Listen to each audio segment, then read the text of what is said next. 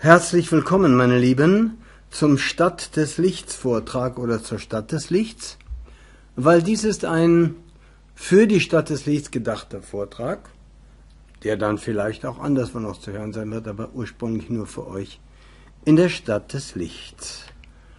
Wir wollen heute mal den Unterschied zwischen Buddhismus und dem Buch des Lichts behandeln und mal sehen, ob da überhaupt ein Unterschied ist. Und wenn, ob er so gravierend ist, dass er überhaupt erwähnenswert ist. Aber es muss gemacht werden, weil ja die Frage immer wieder aufkommt und weil mit dem mit der ursprünglichen Lehre des Buddha so ein Schindluder getrieben wird, wird und wurde, wurde und wird. Und äh, Gott sei Dank, wir auch unseren hochverehrten Mahatera Dr. Georg Grimm haben, der die Sache mal richtig gestellt hat. Aber es zieht sich auch, mein Lieben, durch das Buch des Lichts wie ein Faden, der wahre Buddhismus. Ist das Buch des Lichts authentisch? Wenn wir die Frage stellen. Mit authentisch meinen wir, ist das die ursprüngliche Lehre? Wir sagen ja, ich sage ja. Wurde mir weitergegeben vom Mahachohan. Und ist sie identisch mit Buddhismus und Vedanta? Per se genau genommen nicht. Wir wollen mal sehen, was diese Aussage von mir bedeutet. Das Buch des Lichts hat ja nichts unbedingt mit einer Lebensweise oder so zu tun. Ja? Es wird angeboten, es wird eigentlich gezeigt im Buch des Lichts ein Gesetz, wie die Wesenheiten in Manifestation kommen, wie das Universum entsteht. Ist eigentlich ein, mehr ein, ein Wie-Buch. Ja? Wie ist das Ganze entstanden? Auch warum? Natürlich wird auch der Weg hinaus gezeigt. Es wird auch, wird auch der Weg gezeigt, wie man zurückkommt. Aber der Buddhismus per se geht da mehr rein in Lebensweise, wobei wir vom Buch des Lichts die Lebensweise denjenigen überlassen, die das Buch des Lichts lesen. Allerdings sollten sie sich bewusst sein, wenn sie das gelesen haben, der Konsequenz ihrer Lebensweise, wozu sie auch immer sich entscheiden. Es geht da um ein individuelles Bewusstsein auch und natürlich auch um eine Entwicklung hin zur Reinheit, während der Buddhismus im Prinzip gesehen, vom höheren Aspekt eines geoffenbarten Buddha, esoterisch ist in dem Sinne, dass er eben doch sehr auf die Lebensweise geht und äh, auch leitet und hinweist, wie man nun leben sollte. Das machen wir im Buch des Lieds auch, aber wir präsentieren eigentlich mehr den Vorgang selbst, ja, nachdem man sich dann richten kann oder aus dem man lernen kann oder nicht. Wir haben die Lehre des Buddha ja, das muss man mal sagen, seit es Menschen gibt. Denn es waren immer von Zeit zu Zeit Offenbarungen, und ähm, aber eben wohl unvollständig in dem Sinne. Und da entstand also der Buddhismus, Vedanta auch und alle anderen großen religiösen philosophischen Bewegungen, die sind ja alle nach dem Buddhismus entstanden, sind wir doch mal ehrlich, genau genommen. Das Christentum und dem der Islam kam ja nach dem Buddhismus, obwohl da schon vorherige Entwicklungen da waren, wie wir auch dem Buch des Lichts entnehmen.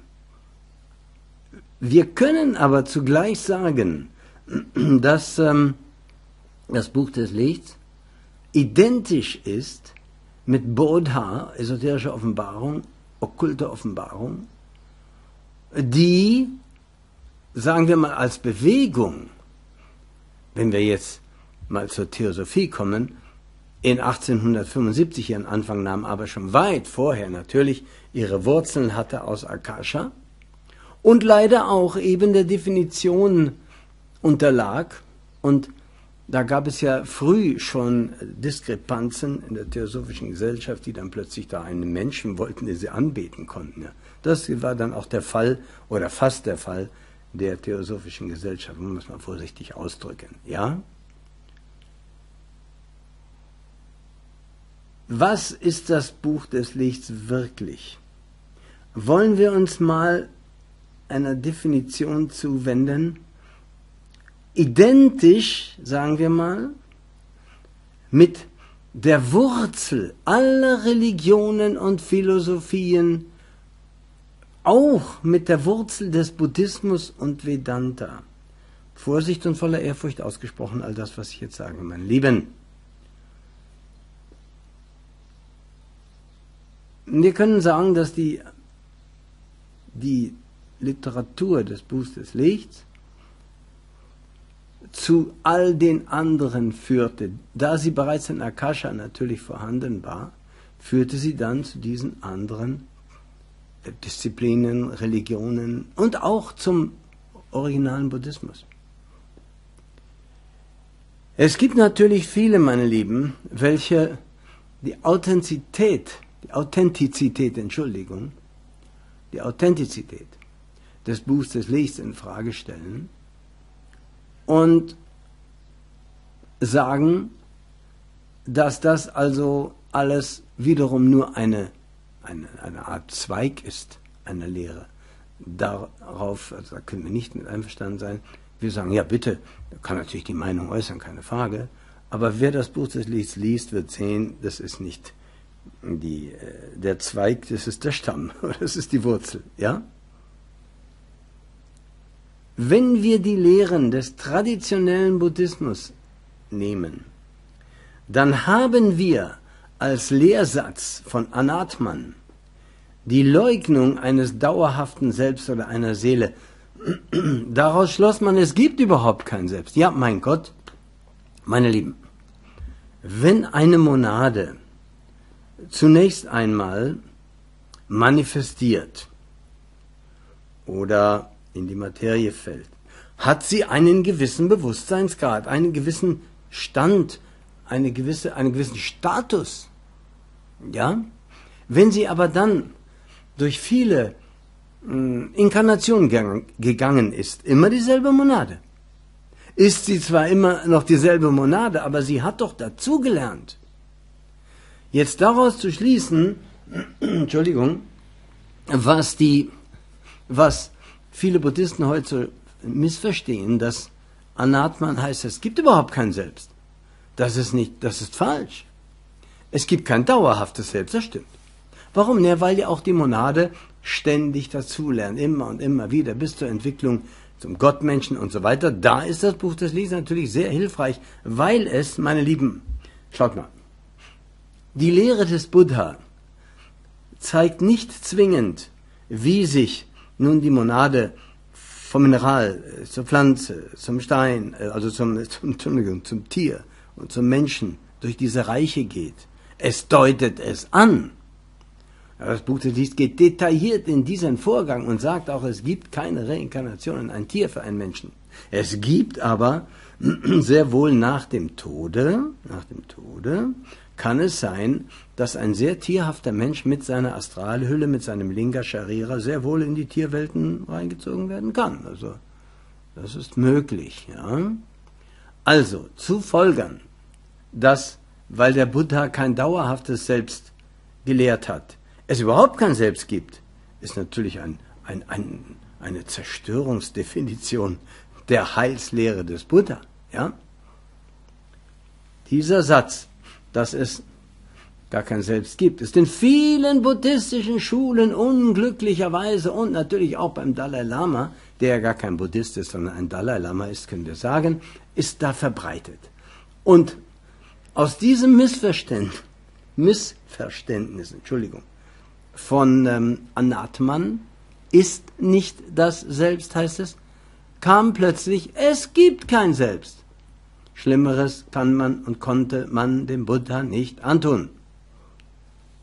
Also, wir haben hier die grundlegende Lehre des Gautama Buddha,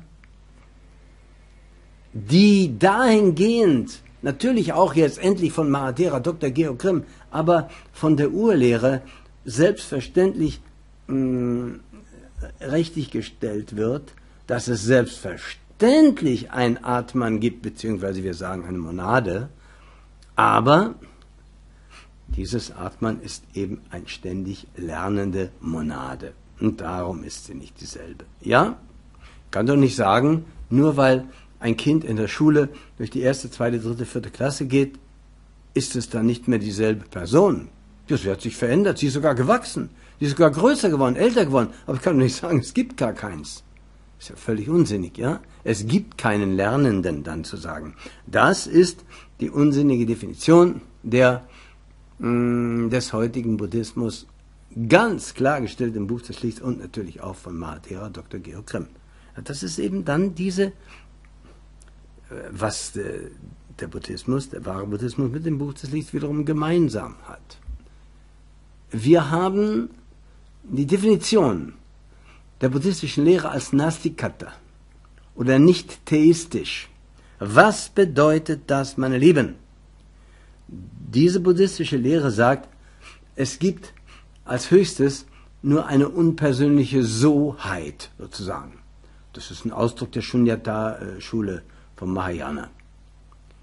Wir stimmen in, im Buch des Lichts dazu, indem wir sagen, die letzte Wurzel, das höchste Wesen ist ein Urgrund, eine Urgrundsituation, ein zeitlos, ewiges, grenzenloses, allgegenwärtiges, unveränderliches Prinzip. Und diesem unveränderlichen Prinzip entstammen oder entspringen periodisch Manvantara und dann zur Ruhe gehen Pralaya, die sich verändernden Wesenheiten, weil sie ja lernen. Ja? Und von Verlangen erfüllt sind nach der vergänglichen Welt und nach der Materie. Sturz in die Tiefe findet statt. Aber die, der normale Buddhismus, sage ich mal, der Missverstandene, der sagt ja, ach, ja, übermenschliche Existenzen gibt es so gar nicht, das ist alles Quatsch, sondern es gibt also das Leben und dann gibt es sogar manche buddhistische Schulen, die sagen, es gibt keine Reinkarnation. Hier wird der Buddha mehr und mehr beleidigt, selbstverständlich, es gibt gar nichts anderes als Reinkarnation. Wir sagen, es gibt den Urgrund, alle Wesenheiten und die Materie. Und die interagieren. Und über allem schwebt das Gesetz der Resonanz. Ursache und Wirkung. Ja, meine Lieben, wenn alles, was ich tue, keine Konsequenz hat, ja, da kann ich doch machen, was ich will, ist doch schön. Und wenn es dann auch nur ein Leben gibt, nur eins angenommen, wie soll ich denn da als Vater oder Mutter oder als ein Lehrer oder Weitergeber die Leute dazu auffordern, Gutes zu tun? Die sagen dann, ja, Entschuldigung, ihr habt ja nur ein Leben. Es ist ja dieses, dieses Wort äh, YOLO, you only live once, dieses Unwort der Jugend. Ja, if you only live once, du lebst nur einmal, ja, dann könnte man machen, was er wollt. Danach ist ja vorbei. Warum soll ich jemandem helfen? Warum soll ich gut zu jemandem sein? Warum soll ich dann nicht total egoistisch sein und so schlimm sein, wie ich möchte? Danach ist doch vorbei. Überlegt mal, meine Lieben, diese schlimme darwinistische, atheistische Lehre, was die alles geschaffen hat. Und dann YOLO noch als, ich sag, das ist ein schwarzmagisches Wort. YOLO. Du lebst nur einmal. Wenn dem so ist, können wir hier den Vortrag abbrechen. Man könnte dann nur noch höchstens zeigen, den bösen Menschen, wie, wie, wie viel Böses sie tun könnten, mit welcher äh, Variante, ja. Und den Guten meinetwegen auch, wie viel Gutes. Aber es macht alles keinen Sinn mehr. Weil es ja danach sowieso aus. Warum soll ich mich um meine Nachkommen kümmern? Oder um meine Kinder und Enkel? Was ist mir denn das, wenn ich danach weg bin? Was soll denn das? Und die sind auch weg danach wenn dem so ist. Vielleicht werden die meine Arbeit gar nicht honorieren, wenn sie sagen, was will denn der? Wir leben, wie wir wollen. Die Lehre des Buchs des Lichts lehrt aber explizit eine ganze Hierarchie von übermenschlichen Existenzen. Ja? Einige sind transnirvanisch, das heißt, das heißt, sie könnten Nirvana nehmen, entsagen ihm aber und dienen uns. Also, das ist dann dieser Zustand des Nirvana frei von allem Verlangen, ist dann ein Entschluss von denen, kann man sagen, anderen zu helfen, frei von allem Verlangen zu werden, oder, oder, glücklich geboren zu werden, glücklich zu leben und glücklich wieder zu sterben. Ja? Der Buddhismus aber, wenn ich mal Svabhava Vasunyata nehme, also das heißt, alle Dinge sind leer, sind wesenlos. Da ist wieder die, das, das Problem, das hat der wirkliche Buddha gar nicht gelehrt. Die Materie per se, da kann man sagen, sie ist wesenlos. Sie ist nur da und wird aktiviert und belebt von den Monaden. Befeuert, wenn man so will, ja. Es steht ja als erstes ein Feuer, ein, ein, ein, ein drehendes Feuer, eine Feuersphäre. Wenn die Monade zum ersten Mal die äh, Mula Prakriti, die Urmaterie, berührt, ja. Aber wisst ihr, was das Problem ist? Wenn ich dann sage, ich sehe einen Menschen jetzt und sage dem, der ist wesenlos, dann sage ich damit auch, da ist gar keine Monade, die dort durch den Körper ag agiert.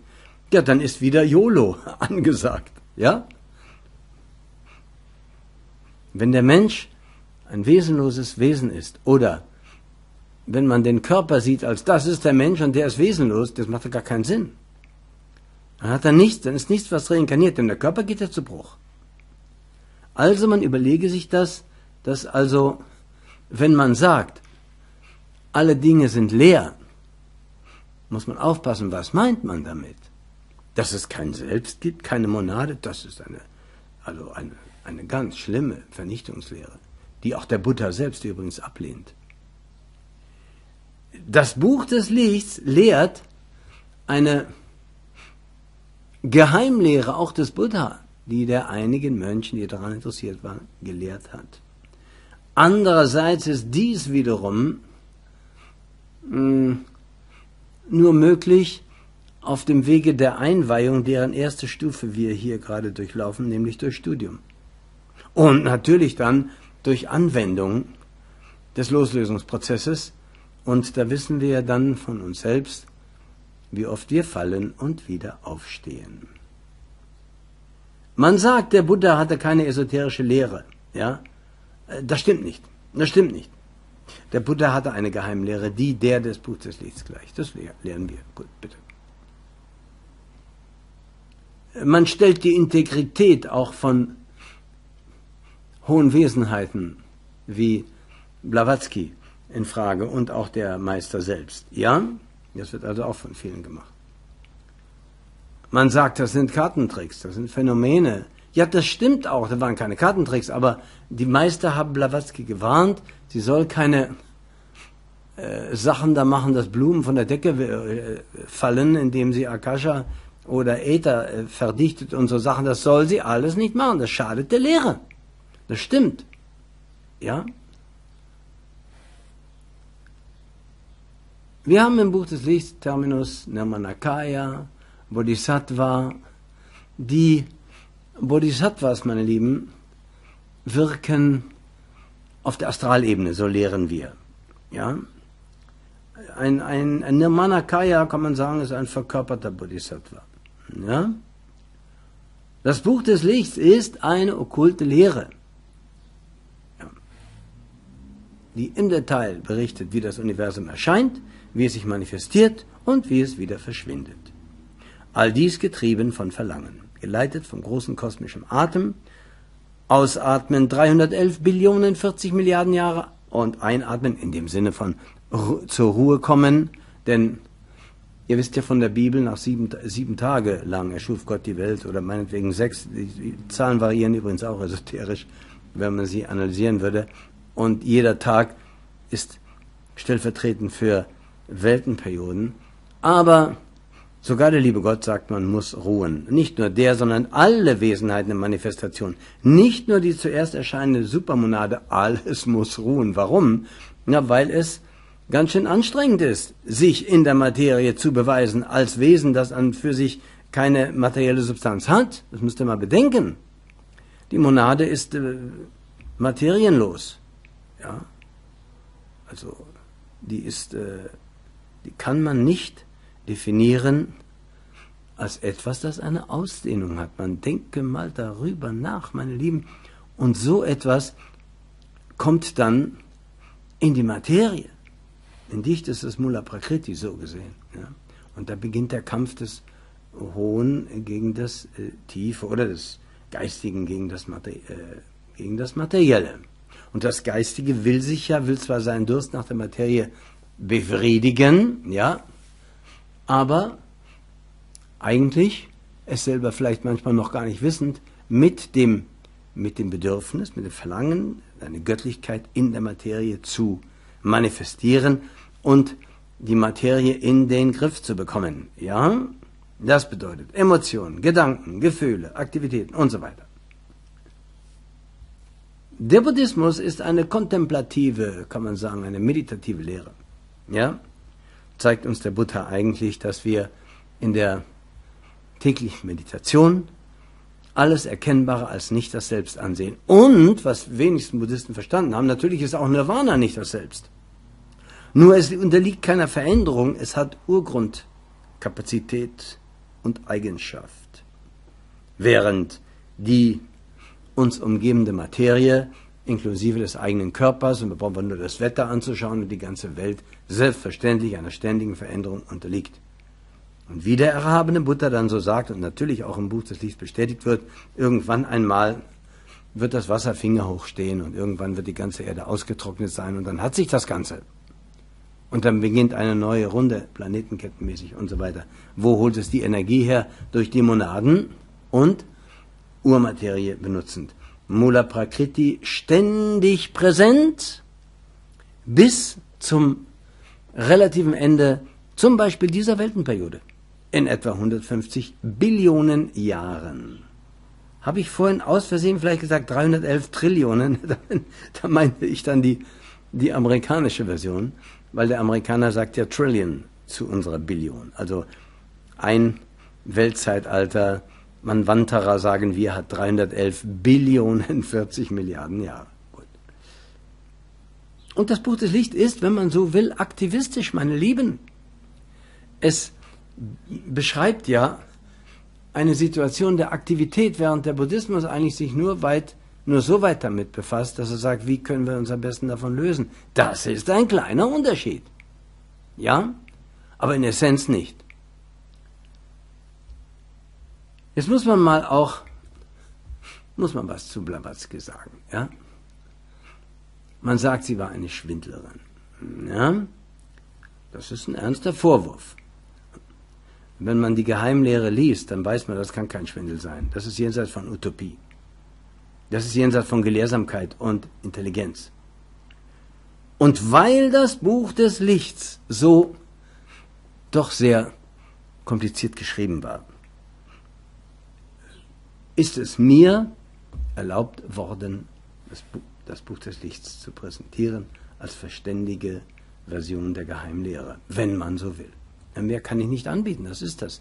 Und ich habe es in Englisch und es geht jetzt los, wir veröffentlichen die englischen äh, Bücher, dank Nila Kanta Agni und viele anderer von euch, Yamuna und so weiter, Patita, Dikshita und so weiter. Ja? Warum sollte Blavatsky betrogen haben? Muss mal darauf zu sprechen kommen, ja? Die Arbeit, die, die da, äh, sagen wir mal, verbunden war mit der Geheimlehre, so ungeheuer gewaltig, ja? Warum sollte die einen Betrug begehen? hat ihr gar keinen handfesten weltlichen Vorteil gebracht, im Gegenteil. Es war Armut, Arbeit in Armut hat die gemacht. Und Schmerzen, physische Schmerzen auch. Ja. Und emotional war sie auch nicht ganz stabil. Feindliche Kritik, Verleumdung, überall umgeben. Ja. Und dennoch war sie eine Frau von Mitgefühl und hat allen immer geholfen und ist natürlich auch oft in die Falle getappt von Menschen, die vorgegeben haben, ihr zu helfen und hintenrum das Messer sozusagen der Verleumdung in den Rücken gestochen haben. Schaut euch mal den Stand der westlichen Naturwissenschaften an zur Zeit der Veröffentlichung der Geheimlehre. Und dann schaut euch einen Vortrag an in der Physik des, des, als die Physik vom 20. Jahrhundert bereits grundlegend ausgearbeitet war. Die Geheimlehre hat ja Einwände gegen wissenschaftliche Vorstellungen erhoben und gegenseitige Sichtweisen vorgeschlagen, aber basierend auf die uralte Lehre. Ja? Und natürlich wurde sie dafür eben angefeindet. Wenn ich mich an einen Mahatma-Brief erinnere, ich glaube, es war der zehnte, da schreibt der Meister, ebenso wie wir mit Verachtung die theistische Theorie zurückweisen. Also, das ist, da muss ich nochmal sagen dazu, dass es also einen allmächtigen Schöpfergott gibt, der die ganze Zeit allein war und dann sagt, jetzt will ich mal was erschaffen, der sowas gibt's nicht. Ja?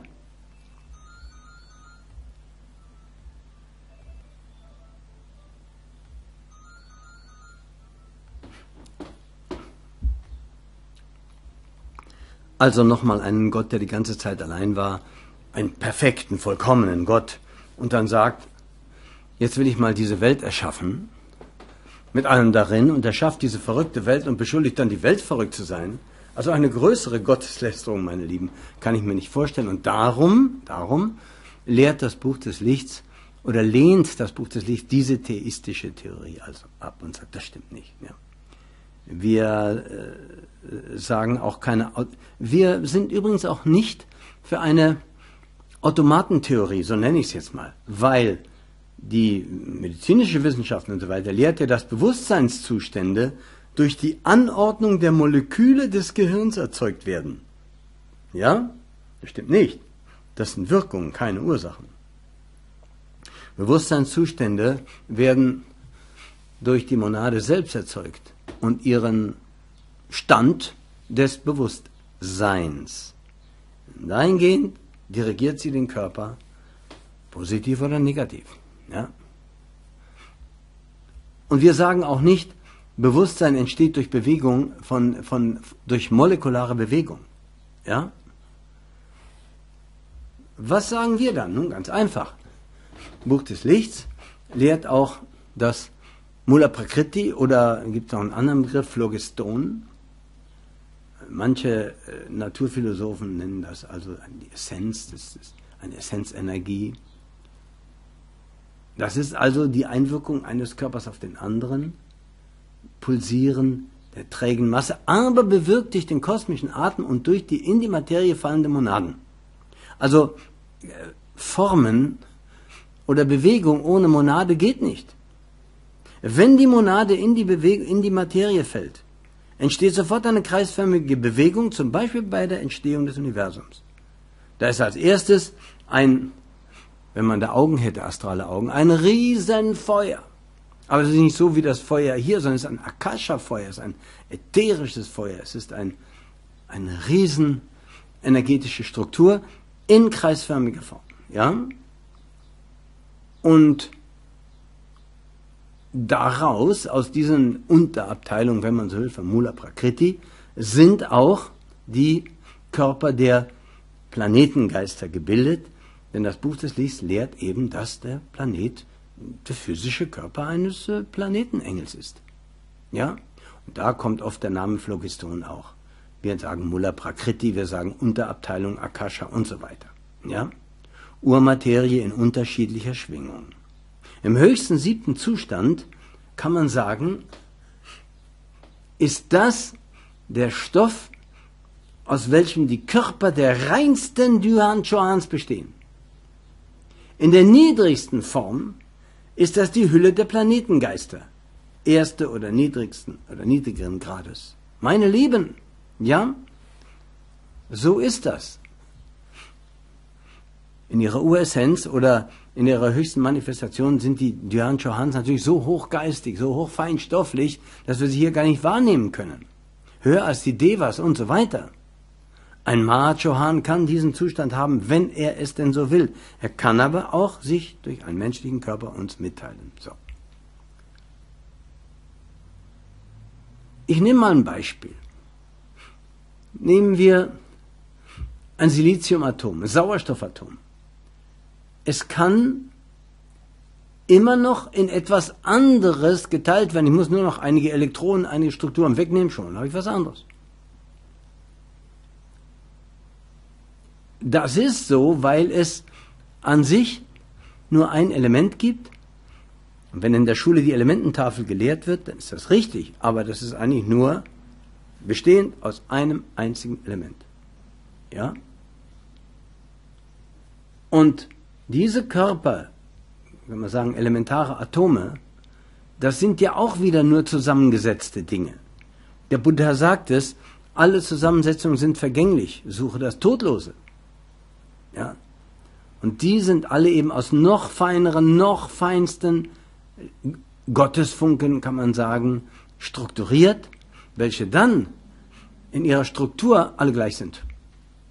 Und die Elemente entstehen nur durch unterschiedliche Schwingungen der entsprechenden Monaden, die in diese Materie sich kleiden, meine Lieben. Es gab hier einen gewissen Georg Ernst Stahl, das muss man halt sagen, der lebte im 17. Jahrhundert. Der hat diese Theorie schon mal angedeutet, ohne eigentlich was gewusst zu haben von Okkultismus dem Sinne. Die Phlogiston-Theorie. In Wirklichkeit meinte er Mulla Prakriti eine Unterabteilung. Das wusste er aber nicht. Ja? Und da hat man sich das so vorgestellt, als Stoff des Feuers in Verbindung mit anderen Körpern. Ja?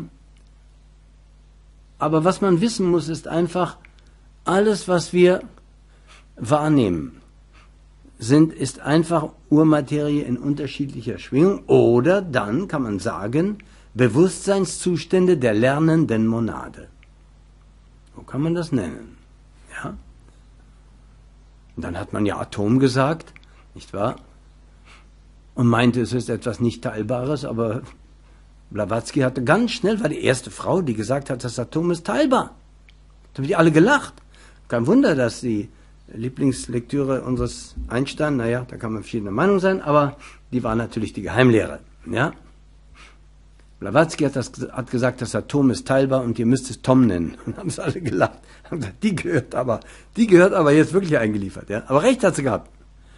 Atom kommt von Atomos Griechischen, heißt unteilbar, nicht teilbar. Und diesen Namen gibt man heute noch einem Teilchen, von dem man weiß, dass es teilbar ist. Man schaut sich nur mal eine Atombombenexplosion an, meine Lieben, eine Kettenreaktion. Dann weiß man Bescheid, ja?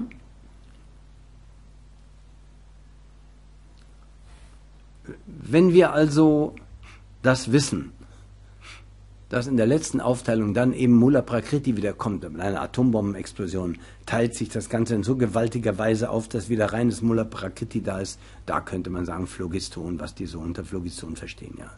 Urmaterielles Vril, man kann auch sagen, das waren die, die Essenz des Heiligen Grals und so weiter und so weiter. Frühe atlantische Magier haben damit gespielt.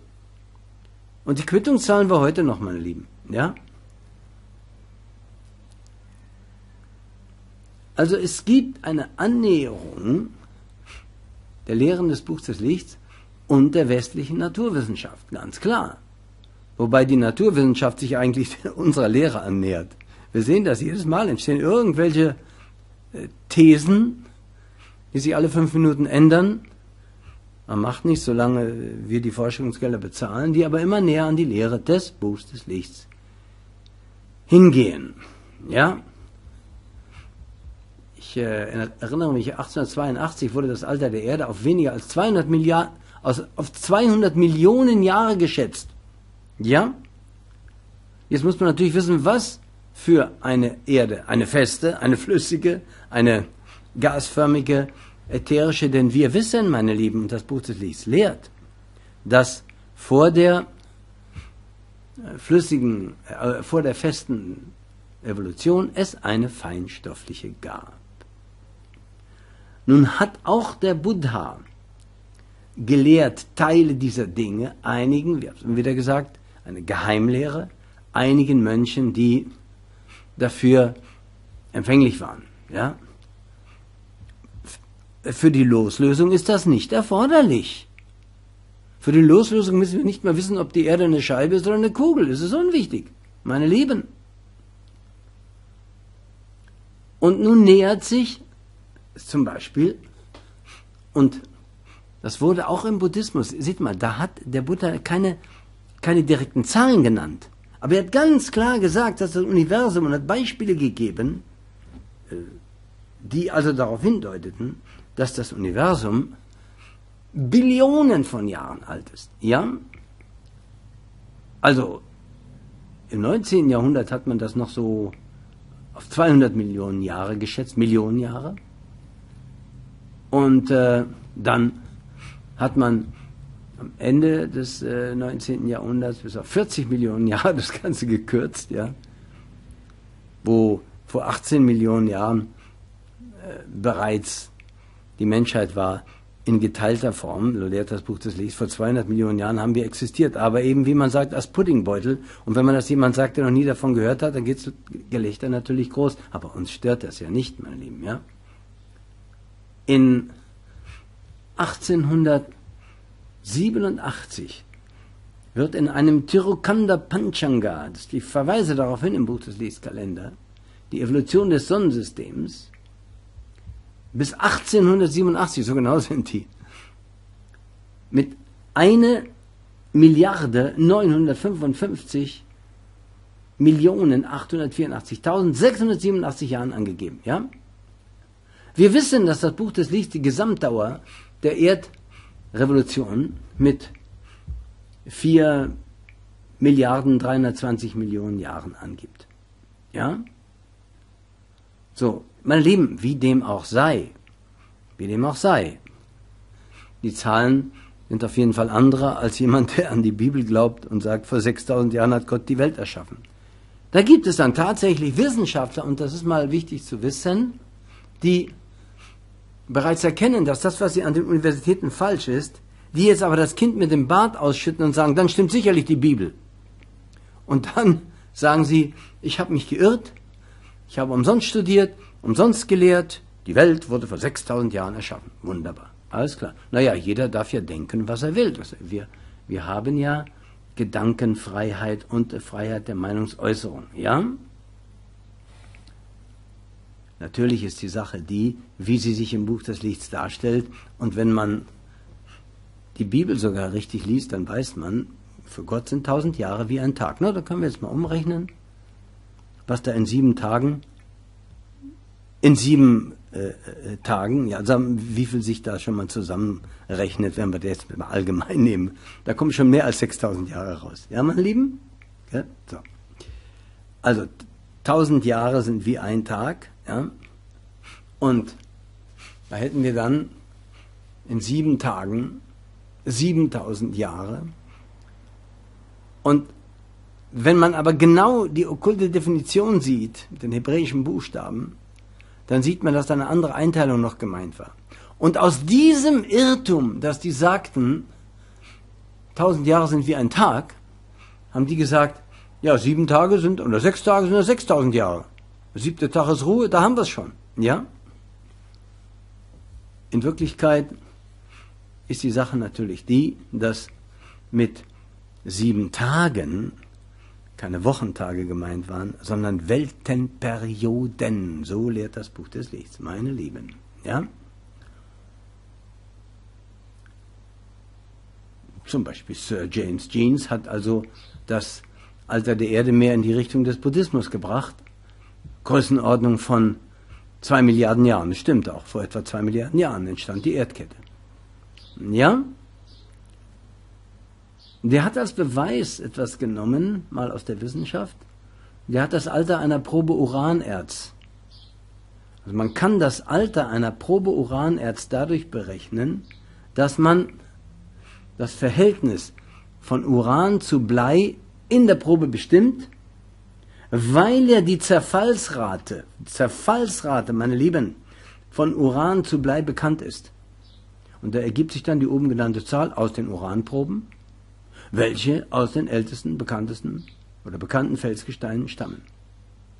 Wiederum wichtig zu wissen, dass vor der physischen Evolution eine feinstofflich war. Und der Buddha beschreibt das auch, aber eben nicht so explizit, sondern mehr als Gleichnis.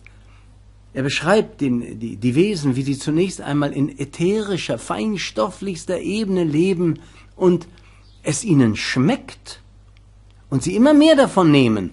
Hm, wie schmeckt das? Und ihr Verlangen danach verdichtet automatisch auch die materielle Struktur. Ehre sei dem Buch des Lichts, meine Lieben. Das ist natürlich ein Vorgang, den man nur begreifen kann, wenn man sich wirklich intensiv mit der Lehre befasst. Die heutige Wissenschaft ist ja überzeugt, dass die Quelle zum Beispiel der Sonnenenergie nicht die Schrumpfung oder die Verbrennung ist, sondern die Strahlung aus dem Inneren des Atoms kommt, ausreichend, um sie für mehr als zwei Milliarden Jahre bereitzustellen. Naja, die Sonne, das muss man jetzt auch wieder sehen, die Wissenschaftler stellen die Lebenszeit der Sonne gleich mit der der Erde. Sagen wir, das stimmt nicht. Sonnensystem, das hält viel, viel länger. Ja, und die Lebensdauer eines Planeten im Sonnensystem, einer, eines einzigen Planeten einer Kette ist eben so und so lange, aber es sind mehrere Ketten. Das Sonnensystem reicht darüber hinaus. Naja, und so gleicht sich die Wissenschaft, hat sich immer schon mehr und mehr angeglichen an die Lehre des Buchs des Lichts und gleicht sich an. Also der Mensch stammt nicht vom Affen ab, sondern der Affe vom Menschen. Es gibt mehr und mehr Anthropologen, die ganz schüchtern und, und vorsichtig aus der Ecke hervorkommen und sagen, na ja, na ja. Der Darwin hat ja auch gesagt, irgendein ein Urahne des Menschen muss androgyn gewesen sein. Richtig, Darwin, bravo. Aber er hat sich nicht ganz so getraut und hat sich in seiner Affenentstehungstheorie mh, hm, geflohen, wenn wir wissen, dass durch die embryonale Rekapitulationslehre, die ja auch an Universitäten gelehrt wird, ganz klar zu sehen ist, dass im Embryo keine affenmäßige Entwicklung stattfindet. Das müsste ja dann sein, weil ja die neun äh, Monate sozusagen Millionen von Jahren Schnell, Schnelldurchlauf sind der menschlichen Evolution. So lehrt man an den Universitäten, ja. Auch wiederum etwas verschämt, weil man plötzlich dadurch auf die Idee kommen könnte, der, der Affe stammt vom Menschen ab. Ja, und das darf ja nicht sein.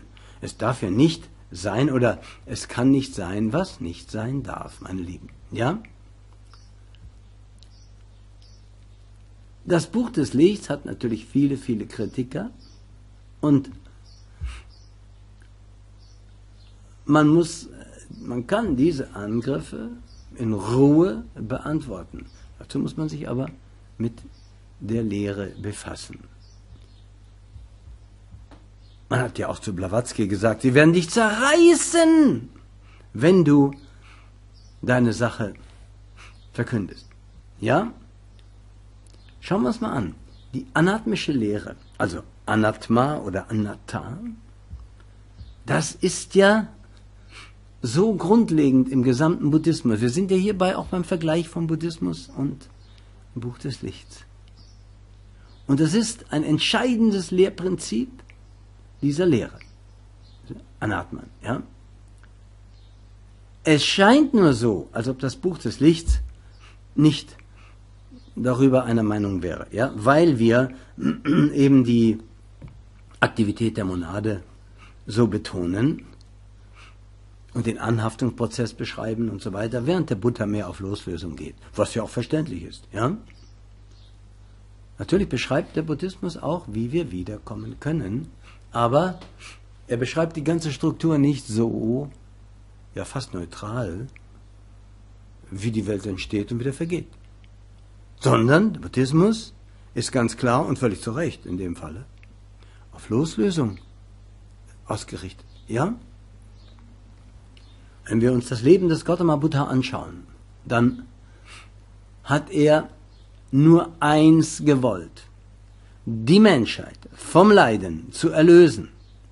Und das hat er mit Gurus gesucht, ganz klar. Und die haben ihn Karma und Reinkarnation gelehrt, also das Gesetz. Und die Lehre eines Atman, ja, dass sie aber wahrscheinlich so gelehrt haben, dass der Buddha gesagt hat, so eins gibt nicht, hat er recht. Eines sozusagen ständigen Atman, einer ständigen Wesenheit, die sich nicht verändert. Das stimmt nicht. Die äh, frische Monade, die aus dem Urgrund kommt, also nehmen wir mal so eine, die noch nichts erlebt hat, die wird zum verlorenen Sohn. Die geht durch alle Ebenen. Äh, Mineral, Pflanze, Tier, Mensch, ätherisch, fester werdend, physisch und wieder sich auflösend und wieder hoch zum zum, zum Urgrund. Wenn sie dann den Urgrund wieder betritt, ist sie nicht mehr dieselbe, als wie sie ihn verlassen hatte, meine Lieben. Denn sie hat ja dazugelernt. Aber es ist die gleiche Monade. Ja? So muss man es sehen. Und äh, der Buddha hat natürlich dann dem Guru gefolgt und hat gesagt, hm, du lehrst einen unveränderlichen Atman, das kann ich so nicht sehen. Und hat also dann auch den, das ganz wichtig, das wissen die wenigsten, der Guru des Buddha hat ihn sehr hoch gebracht oder sehr nach innen, nämlich bis hoch zu Brahman, bis zur Supermonade. Diesen Loslösungsprozess hat der Buddha erlebt und jetzt kommt die Genialität des Buddha, der hat gesagt, da ist noch mehr. Ja, sagt der Guru, was meinst du? Wo das herkommt, sagt er. Das will ich. Und dann ist er irgendwann einmal, hat er an einem schönen Ort, war er dort im Wald, ein Flüsslein, ein Bächlein war. Und es war eine Stille und ein Frieden, sagt er, jetzt werde ich es erlangen. Hat sich hingesetzt, hat sich vertieft in den Loslösungsprozess bis hoch zum Atman und das hat er auch losgelassen. Ja? Sanya Vedayitani Rodha, Aufhebung aller Wahrnehmung und Empfindung. Und dann hat er auch nicht mehr ich sagen können. In Nirvana sagt man nicht mehr ich. Ich kann man nur sagen, wenn man in der, in der vergänglichen Welt ist. Dann benutzt man ja wieder das Vehikel, um zu sprechen und sagt, ich mach dies, mach das. Ja? Er ist also in diese Lehren eingedrungen, der Buddha, und er hat erkannt, hm, da fehlt noch was. Da ist etwas noch unvollkommen. Und darum hat er unzufrieden seinen Guru verlassen, muss man sagen. Ja? Und um das zu verstehen, ist wahrscheinlich für die wenigsten. Ja. Die meisten werden wiederkommen. Mein Lieben, dem Buddha war das egal, ob alle Menschen erlöst werden oder nicht. Er hat nur gesagt, das ist die Möglichkeit. Nirvana, der Urgrund, Freiheit von allem Verlangen. Aufhebung aller Wahrnehmung und Empfindung. Ja, wie kann ich denn noch sein, wenn ich nicht mehr wahrnehme und empfinde? Das ist übrigens Tiefschlafzustand. Ja? ja, man versuche es in der Meditation. Man wird sehen, dass die Möglichkeit besteht, dass man da hinein ist und wieder rausgeht. In vorwärts und rückwärts gehender Bewegung, sagt der Erhabene ja, ist es mir gelungen, das Unzerstörbare, das Todlose zu finden. Meine Lieben, ist das nicht etwas Großen, Großartiges? Das Buch des Lichts lehrt ja den Urgrund sowieso. Da kommt ja alles her und geht alles wieder zurück. Einen kosmischen Schoß. Also, wenn schon, dann Feminum. Irgendwie, ja?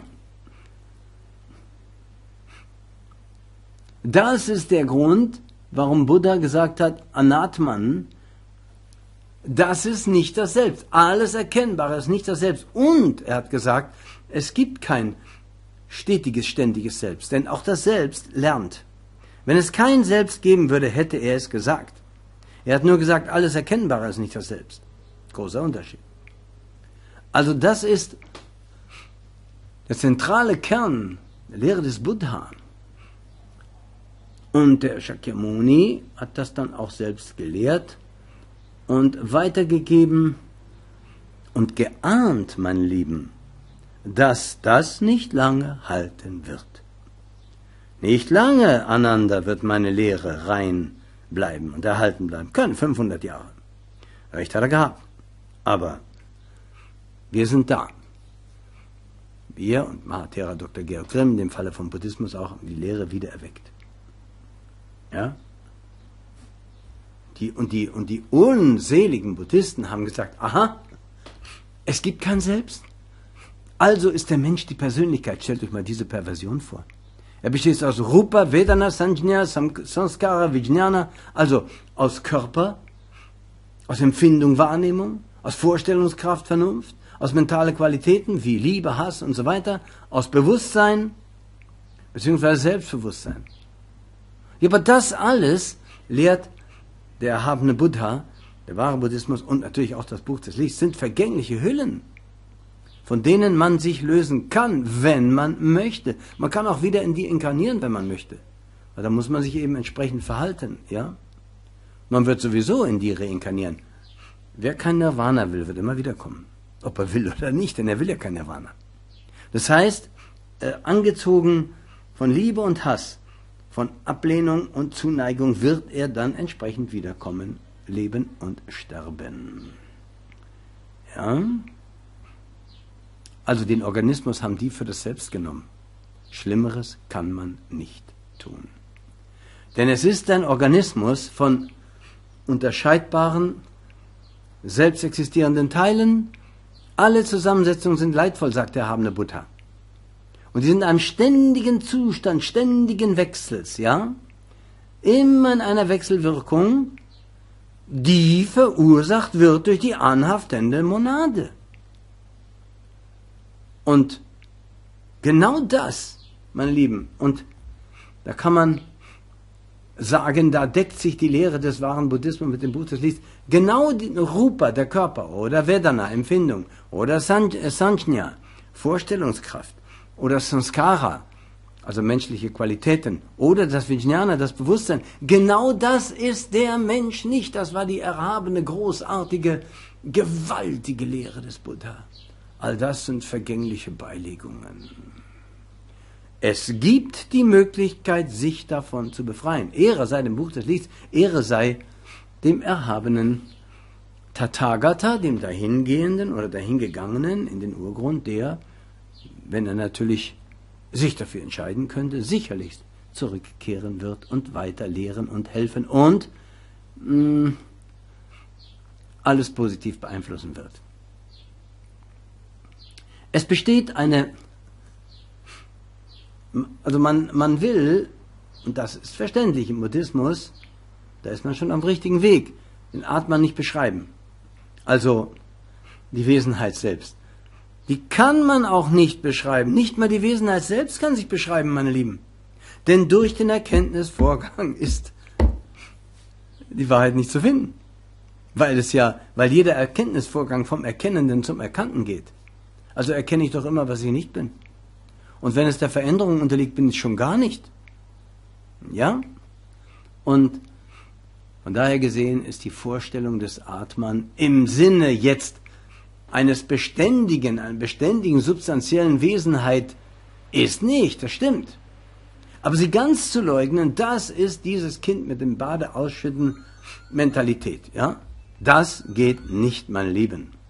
Also schauen wir weiter, ihr Lieben von der Stadt des Lichts, für die speziell dieser Vortrag gehalten wird.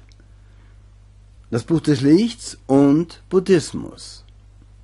Wenn wir den Brahmanismus anschauen, dann wissen wir ja bereits vom Buch des Lichts, dass das Höchste für die Brahmanen die Vereinigung mit Brahman ist würden sagen, der Gott der Kirche vielleicht, die erste hm, geistige Hervorbringung, Emanation, die erste Monade, die Supermonade, welchen Namen man da auch geben will. Das Ganze funktioniert ja in hierarchischer Reihenfolge. Wenn wir das jetzt als Weltauffassung da nehmen, dann müssen wir sehen, dass der Buddha auch per se keinen Brahmanismus gelehrt hat, sondern eben noch eine Stufe darüber hin, hinaus oder hinweg, jenseits der Supermonade, nämlich den Urgrund. Das Sein und die Vereinigung im Urgrund. Ich wage zu behaupten, in der Meditation kann jede Krankheit geheilt werden, also jede mentale vor allen Dingen, wenn man sich immer mehr in der Meditation diesem völligen Loslösen hm, zubewegt? Denn die meisten, wenn nicht alle Krankheiten, entstehen aus Anhaftung an diese vergängliche Welt. Extreme Anhaftung bis zur Sucht, auch mentale Anhaftung und so weiter. Sich identifizieren mit diesem Vergänglichen, mit diesem Irrsinn, der hier geschieht, wird man dann selber irre. Im Loslösen kann man diesen Irrsinn bekämpfen, indem man sich seinem eigenen oder eigentlichen Wesen zuwendet, nämlich ungeboren, unerschaffen, zeitlos, ewig. Der Buddha im Vergleich zum Buch des Lichts hat, wie gesagt, eine Lebensweise gelehrt, die man so leben kann, wenn man will, wenn man sich dafür entscheidet und so weiter. Wenn man aber das erreicht hat, ist man natürlich nicht mehr unbedingt, meine Lieben, so interessiert vielleicht an der Lehre des Bußes des Lichts, weil man ja im Buddhismus, so wie ihn auch der erhabene Mahatera Dr. Georg Grimm beschreibt und richtig wieder zum Leben erweckt, weil man da nur auf Loslösung bedacht ist. Natürlich auch unter anderem auf maßhaltendes Anhaften, aber doch immer verbunden, meine Lieben, mit dem höchsten Ziel des Buddha, das er ja erlangt hat und von dem er sagt, alle anderen können es auch erlangen, und das ist eben Nirvana. Er hat, der Buddha hat abgelehnt eigentlich, über übersinnliche Dinge zu sprechen. Ähm, nicht, weil er sie geleugnet hat, dass das nicht gibt, das stimmt nicht. Er hat ja sogar ganz klar hingewiesen auf Welten von physischen Körpern, Dämonen, Geistern, Engeln, Göttern, die ganze Hierarchie, ja? Aber er hat sich damit nicht zu sehr beschäftigt. Er hat nicht gesagt, die sind unerkennbar. Im Gegenteil, die sind ja erkennbar. Er hat sie auch nicht geleugnet. Aber er hat die Menschen befähigt, durch Meditation, wir haben unsere Seelenatemeditation, sich direkt diesem Ziel zu nähern, wenn sie es denn so wollen. Er hat auch nie gesagt, dass die Monade nicht ewig ist, aber er hat natürlich ewig definiert mit jenseits aller Dauer. Also eine Ewigkeit, die einen Anfang hat und kein Ende, sowas gibt es nicht. Das ist auch die Lehre des Buchs des Licht, des Lichts.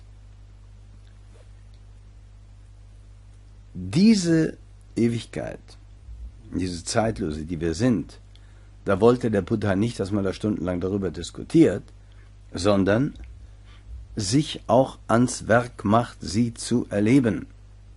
Das tun wir auch hier. Ja. Aber viele Menschen diskutieren sich zu Tode, so wie der mh, hm, Gelehrte im Faust, ja, der dann gesagt hat, jetzt habe ich alles studiert und gelernt und weiß immer noch nichts. Das heißt, man muss es empirisch erfahren. Das will der Buddha, darauf will er uns verweisen. Dieses Nirvana, diesen Urgrund, muss man empirisch, kann man empirisch erfahren. Man kann sagen, dass Buddhas Lehre Hinduismus ist. Angewendet auf das praktische Leben des Menschen. Ja? Und der Mensch, das sagt der Buddha ganz klar, hat seine Bestimmung im Ewigen. Was er aber unter Ewigen versteht, das erklärt er ganz klar. Und das erklärt auch das Buch des Lichts. Übrigens, da ist man sich ganz klar einig, nicht wahr? Etwas, das anfangs- und endlos ist. Und wenn wir diesen Bereich verlassen und uns in die sich verändernde Materie stürzen, empfinden wir das als vergänglich, in dem Maße, in dem wir uns mit der vergänglichen Materie identifizieren. Ja? Der Buddha hat natürlich gesagt, ich lehne die äußeren Lehren zu sehr, also von höheren Wahrheiten und so weiter ab, sondern ich sage euch die Ursachen des irdischen Lebenswandels und die Läuterung durch den achtfachen Pfad. Also man kann sagen, alle indische Weltanschauung, einschließlich Buddhismus, Lehre von dem Geistigen, von übergeordneten Welten, wo der Mensch auch seine Existenz hat, seine Anhaftung durch die Hüllen, die er hat, die siebenfältigen. Und an sich ist das auch enthalten, vielleicht in größerem Detail, vielleicht auch nicht, im Buch des Lichts. Und je nachdem, wie der Mensch geschaffen ist, kann er sich das nun zu eigen machen oder nicht. Auch das Christentum, meine Lieben, die tieferen Grundlagen des Christentums haben diese Urweisheit in sich. Und darum ist das Buch des Lichts ja auch da, um zu zeigen, das Christentum und auch der Islam und so weiter haben in Essenz die Lehre des Buchs des Lichts. Ja, und dadurch fällt die Trennung weg. Und wenn wir das einmal haben, dann, oder uns dahin bewegen, dann kann man sagen, der Buddhismus und das Buch des Lichts bewegt sich in die gleiche Richtung. Auch für uns ist Nirvana das Höchste, gar keine Frage. Und wenn wir es denn wirklich als das Höchste betrachten, sollten wir nicht zu sehr anhängen den vergänglichen Seinsformen. Ganz zu schweigen davon, dass wir nicht einen Guru anbeten sollen, wie törichte Theosophen das getan haben und der Lehre Blawatzkis sehr geschadet haben damit. Ja, man kann den Urgrund nicht anbeten. Nicht mal Brahman, die Urmonade, kann man anbeten. Das geht nicht, ja. Die reagiert gar nicht darauf. Darum die etwas radikale Äußerung von mir manchmal. Ein Gott, der angebetet werden will, gehört auf die Psychiatercouch. Es gibt natürlich Wesenheiten auf dämonischen, astralen Ebenen oder niederen Ebenen auch, die gerne die Anbetung haben und die sich dann hervortun und sagen, ich bin Gott. Ja, ich möchte, dass du dies und das machst. Und das sind dann sogenannten Fobgeister und so weiter, was es da alles gibt. Unter anderem gehören auch manchmal hm, Stammesgötter dazu. Ich will nur andeuten. Für die Christen mag der Stammesgott die spirituelle Stammesquelle Jehova sein. Für die Muslime ist es der Stammesgott der Muslimen Allah. Aber das sind alles untergeordnete, hm, sagen wir mal, Wesenheiten, die natürlich der Supermonade entspringen oder durch die Supermonade den Urgrund verlassen haben und nun hier auf ihre speziellen mh, hm, Formen einwirken und dadurch natürlich das schlimme Karma auch mitteilen, dass diese Formen denken, das ist er. Ja, Beispiel. Man muss ja immer ein Beispiel bringen, sagt der erhabene Buddha. Ein Lehrer lehrt Mathematik. So. Der ist doch aber nicht die Mathematik. Es kommt ein anderer Lehrer und lehrt ein anderes Fach in Mathematik. Und so weiter und so weiter. Das sind doch alles nur sozusagen Unterweitergeber, wenn man so will. Die Lehre selbst ist doch dominant. So könnte man das vergleichen. zur Ehrenrettung, wenn mir das denn überhaupt zusteht, von Blavatsky kann man sagen, dass sie in einer Zeit kam, als man sehr im Materialismus verfangen war. Äußerlich materielles Erkennen und so weiter. Aber sie wurde durch große Lehrer des Ostens, wir nennen sie Meister, in die Geheimnisse der Weisheitsforschung eingeweiht. Und die haben sich natürlich entsprechend oder so gut wie Blavatsky es verstehen konnte ausgedrückt. Und Blavatsky hat es weitergegeben, oft ungenau, falschen Übersetzungen und so weiter. Die Meister haben manchmal involviert. Also es ist, man kann gewisse Dinge nur tun entsprechend seinem Karma. Das betrifft übrigens auch für die Meister und für die Schüler zu. Ein Meister kann dem Schüler nicht mehr geben, als der Schüler empfangen kann.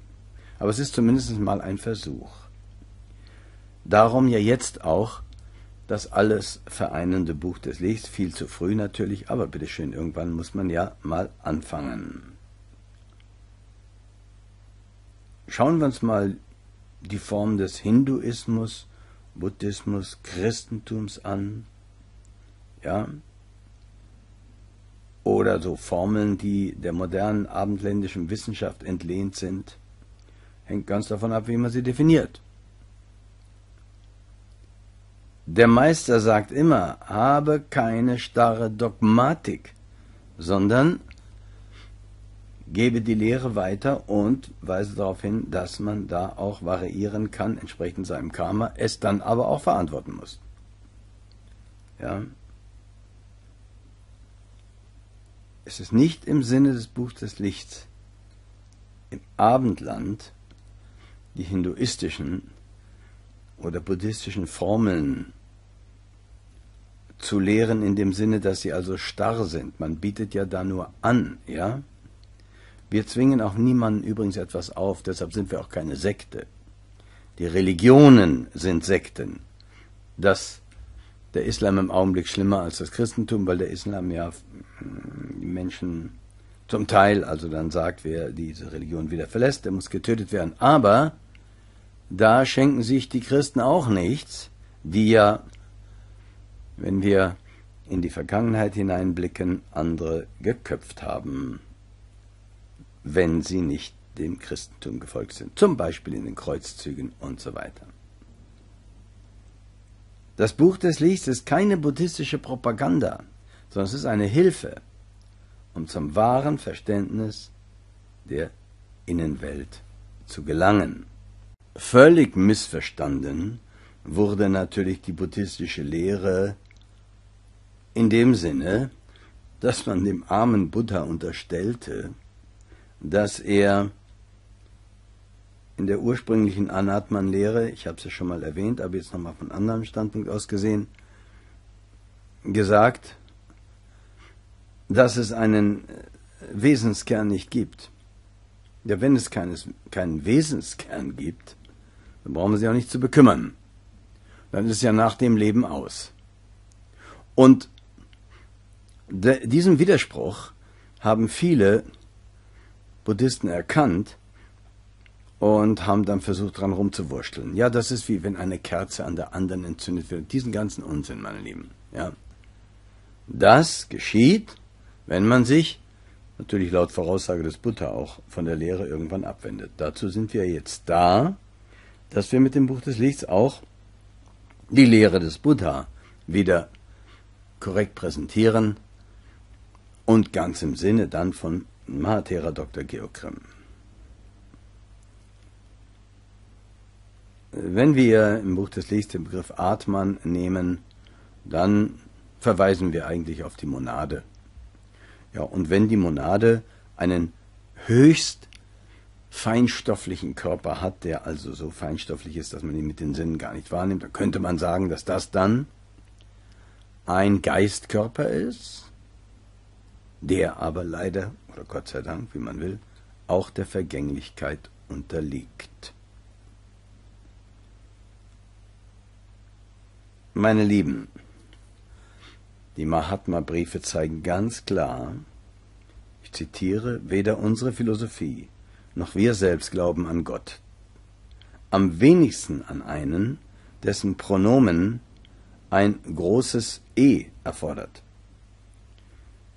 Wir leugnen Gott sowohl als Philosophen als auch als Buddhisten, sagen die Meister.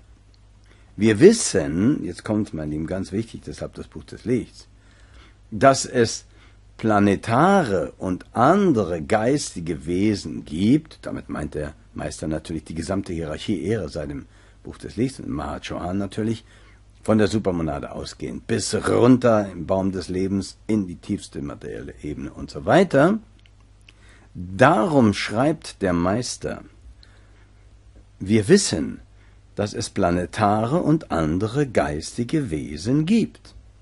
Und wir wissen, dass es in unserem System kein solches Ding wie Gott gibt, weder einen persönlichen noch einen unpersönlichen. Damit meinen sie ganz klar, dass es eben keinen außerkosmischen Gott gibt, der die ganze Zeit allein rumläuft und sagt, jetzt werde ich mal etwas erschaffen und dann schafft er es und macht als Erschaffene verantwortlich dafür, wie es geworden ist. Das ist alles Unsinn. Das ist, meine Lieben, Gotteslästerung und in dem Sinne verteidigt das Buch des Lichts Gott oder die Supermonade oder die Lehre, wie man will. Die Meister erwähnen auch, dass Parabrahman kein Gott ist, sondern das absolute, unveränderliche Gesetz nicht wahr? Von Karma und Reinkarnation. Dieses Gesetz, wenn man so will, lauert bereits im Urgrund. Ja? Und dort lauert übrigens auch der Wille zum Leben. In den unerlösten Monaden. Und das Gesetz tritt in Kraft, sobald die Supermonade den Sturz in die Tiefe beginnt, auch getrieben von Verlangen, keine Frage. Und damit das ganze Universum ins Sein bringt, indem es zunächst mal die Urmaterie einteilt, wie wir wissen vom Buch des Lieds, in sieben Fächern oder sieben Ebenen, sieben mal sieben. Dann kommen die entsprechenden anderen Wesenheiten in der Hierarchie etwas niederer oder niedriger, aber auch immer noch geistig und so weiter und so weiter und äh, setzen ihren, ihren Lebenslauf, kann man sagen, ja, ihren Seinslauf fort in der Materie, nachdem sie ja 311 Billionen, 40 Milliarden Jahre geruht haben. Ja, und das Ganze geht dann wieder von vorne los. Wenn das Buch des Lichts und auch die Meister, das wurde vom Chohan wirklich also emphasized, also betont, wenn wir die Ausdrücke Gott und Götter verwenden, dann sicherlich nicht im theistischen Sinne, sondern eben nur als Bezeichnung einer Wesenheit von der höchsten bis zur niedersten, die in Manifestation ist, einer monadischen Wesenheit. Das Buch des Lichts lehrt, meine Lieben, es gibt entwickelte Wesen, die überragen den Menschen so weit, dass aufgrund dieser hohen Bewusstseinsstufe wir sie für Götter halten. Ja, die Unwissenden vielleicht, wir nicht mehr. Natürlich haben wir Respekt vor diesem Wesen. Aber ganz wichtig, meine Lieben, wenn man euch befragt nach diesem Wesen, die waren einmal Menschen. Die gehörten oder gehören zu einer höheren, jetzt für den Menschen noch unbegreiflichen Stufe der Evolution. Und wir wissen, meine Lieben, es gibt an sich nur eine moralisch-geistige Evolution. Die Form verändert sich immer, passt sich dem evolutionären Bewusstseinszustand der Monade an. Wer also sich nur der physischen und materiellen Seite der Evolution zuwendet, der bleibt da stecken und für den wird es immer schlimmer. Ja? Diese hohen Wesenheiten, so lehrt das Buch des Lichts, haben mit der Ordnung von Welten und Sphären, also Lokas und Talas und so weiter, zu tun. Die Meister, auch das Buch des Lichts natürlich, beschreiben sie als Dyan Chohans. Herren der Kontemplation, ja? Gibt auch andere Namen. Es ist hier gelehrt, die Existenz einer Hierarchie von intelligenten Wesen, meine Lieben. Wenn ich zur Schule gehe, habe ich in einem Schul, einer ganzen Schule, von Erstklässlern bis zu Abiturienten, alle da und die Lehrer noch. Das ist doch eine Hierarchie. Ja?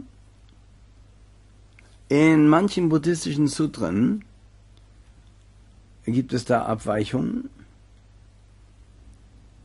aber Buch des Licht bedingt keine Abweichung von der Lehre wie in manchen diesen Sutren zu finden ist. Na gut, das wollen wir mal dahingestellt sein lassen. Wir äh, kritisieren hier nicht den erhabenen Buddha, natürlich niemals.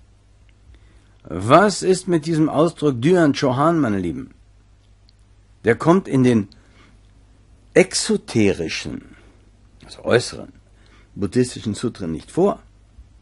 Aber wir finden dort, und ich muss das sagen, weil viele Buddhisten sagen, sowas gibt es nicht. Wir haben keinen Dhyan Chohan. Wir haben keinen Mahat Chohan. Wir haben überhaupt keinen Chohan. Stimmt nicht. Stimmt nicht. Es gibt andere Ausdrücke, die können gleichbedeutend sein. Ja? Ich zitiere mal den Brief äh, des Meisters, Mahatma-Briefe, Nummer 16, Seite 100. Da schreibt er, der Devachan, oder das Land von Sukhavati. Das sind schon wieder zwei Begriffe. Devachan, Himmelsebene, Buch des Lichts, und jetzt haben wir was Buddhistisches, Sukhavati, wurde von unserem Herrn selbst, dem Buddha, allegorisch beschrieben. Seine Worte können im Shan Mun Yitung gefunden werden. Also spricht der Tathagata, ihr wisst, was das bedeutet, der Dahingegangene, oder dorthin gegangen in Richtung Nirvana, ja? Er spricht, er spricht. Viele tausend Myriaden von Weltensystemen jenseits des unseren gibt es, eine Region der Wonne und der Seligkeit, genannt Sukhavati.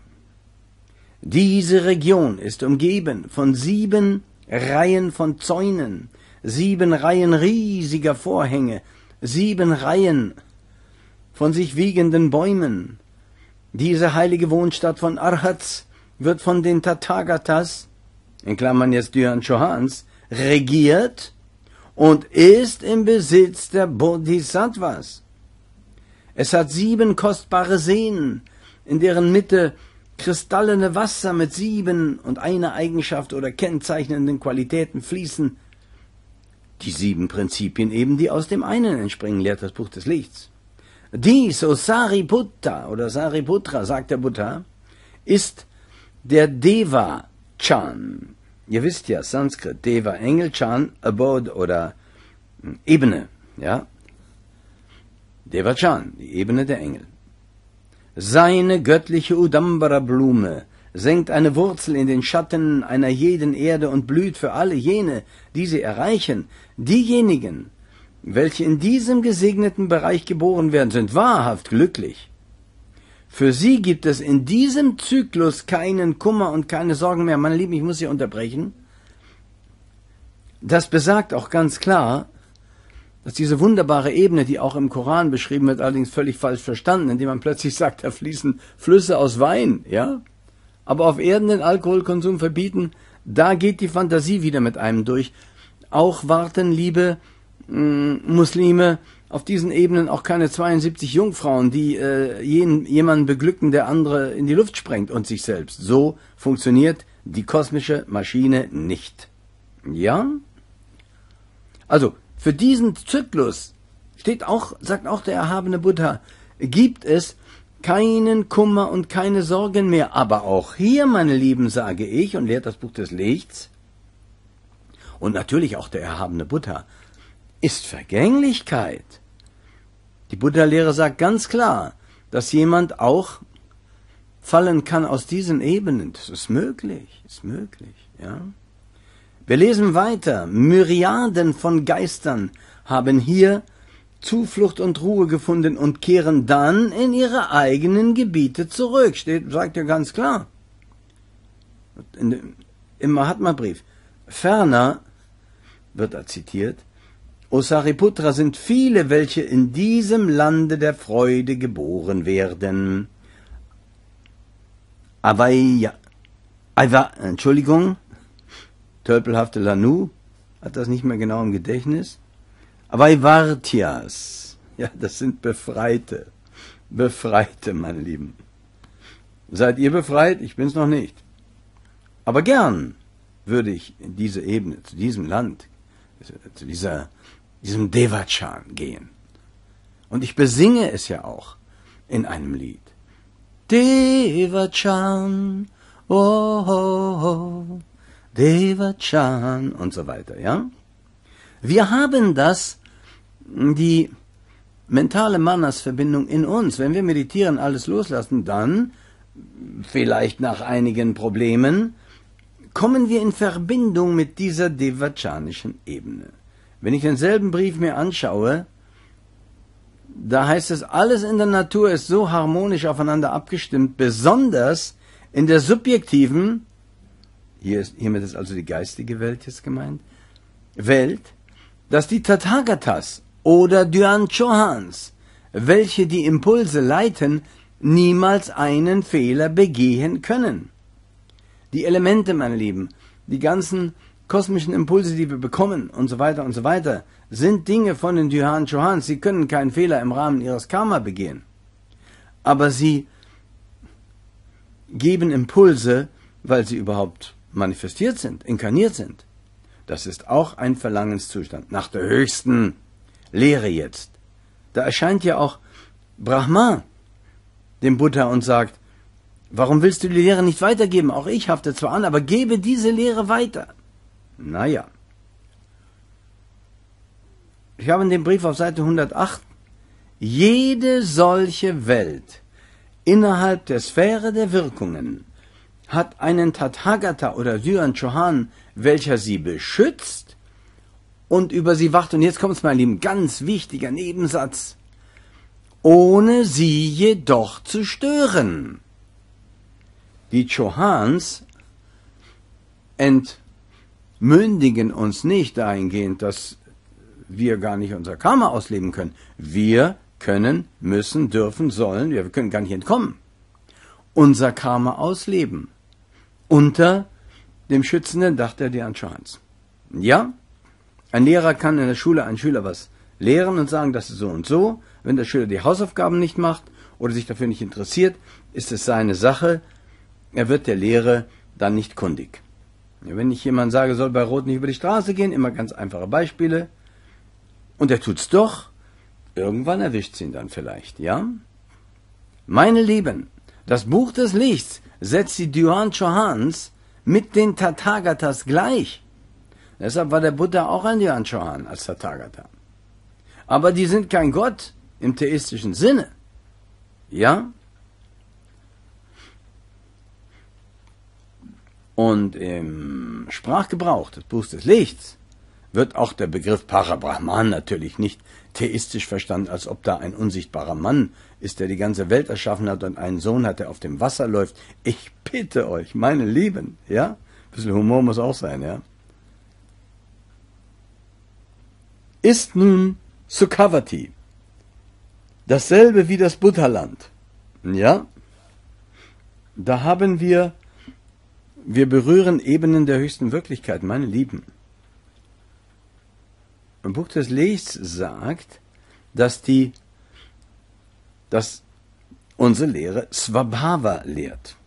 Das ist ein substanzieller Charakter, während der Buddhismus, also zunächst mal, zumindest mal der Orientalisten, Swabhava Shunyata lehrt, dass alle Dinge ihrem Wesen nach leer sind.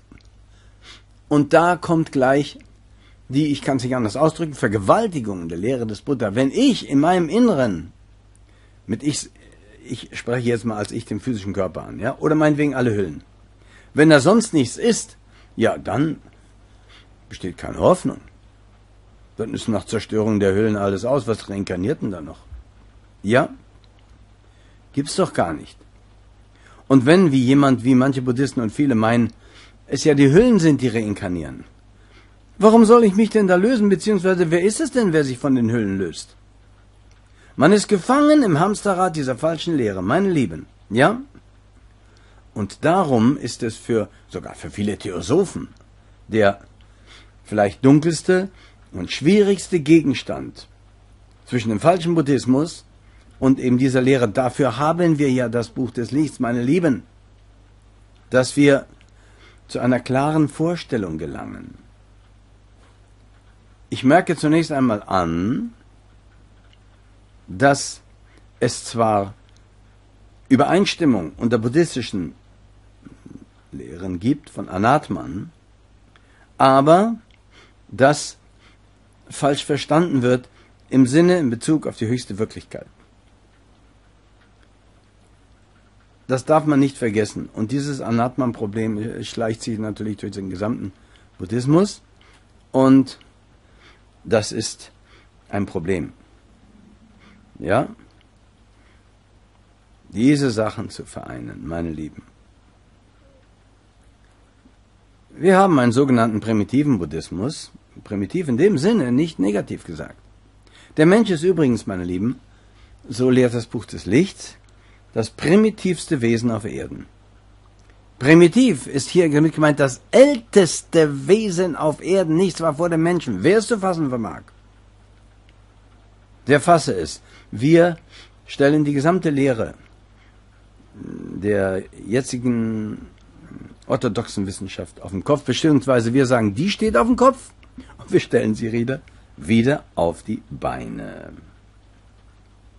Man sagt, dass der Buddha öffentlich eine praktische oder ethische Lehre verbreitete und über metaphysische Fragen Stillschweigen bewahrte. Warum? Weil eine Diskussion hierfür nur verwirrend vielleicht wäre und den Lösungsprozess beeinflussen würde. Na gut. Buch des Lichts lehrt aber, dass er, der erhabene Buddha Gautama Shakyamuni, an befähigte Schüler weitergehende Lehren erteilte.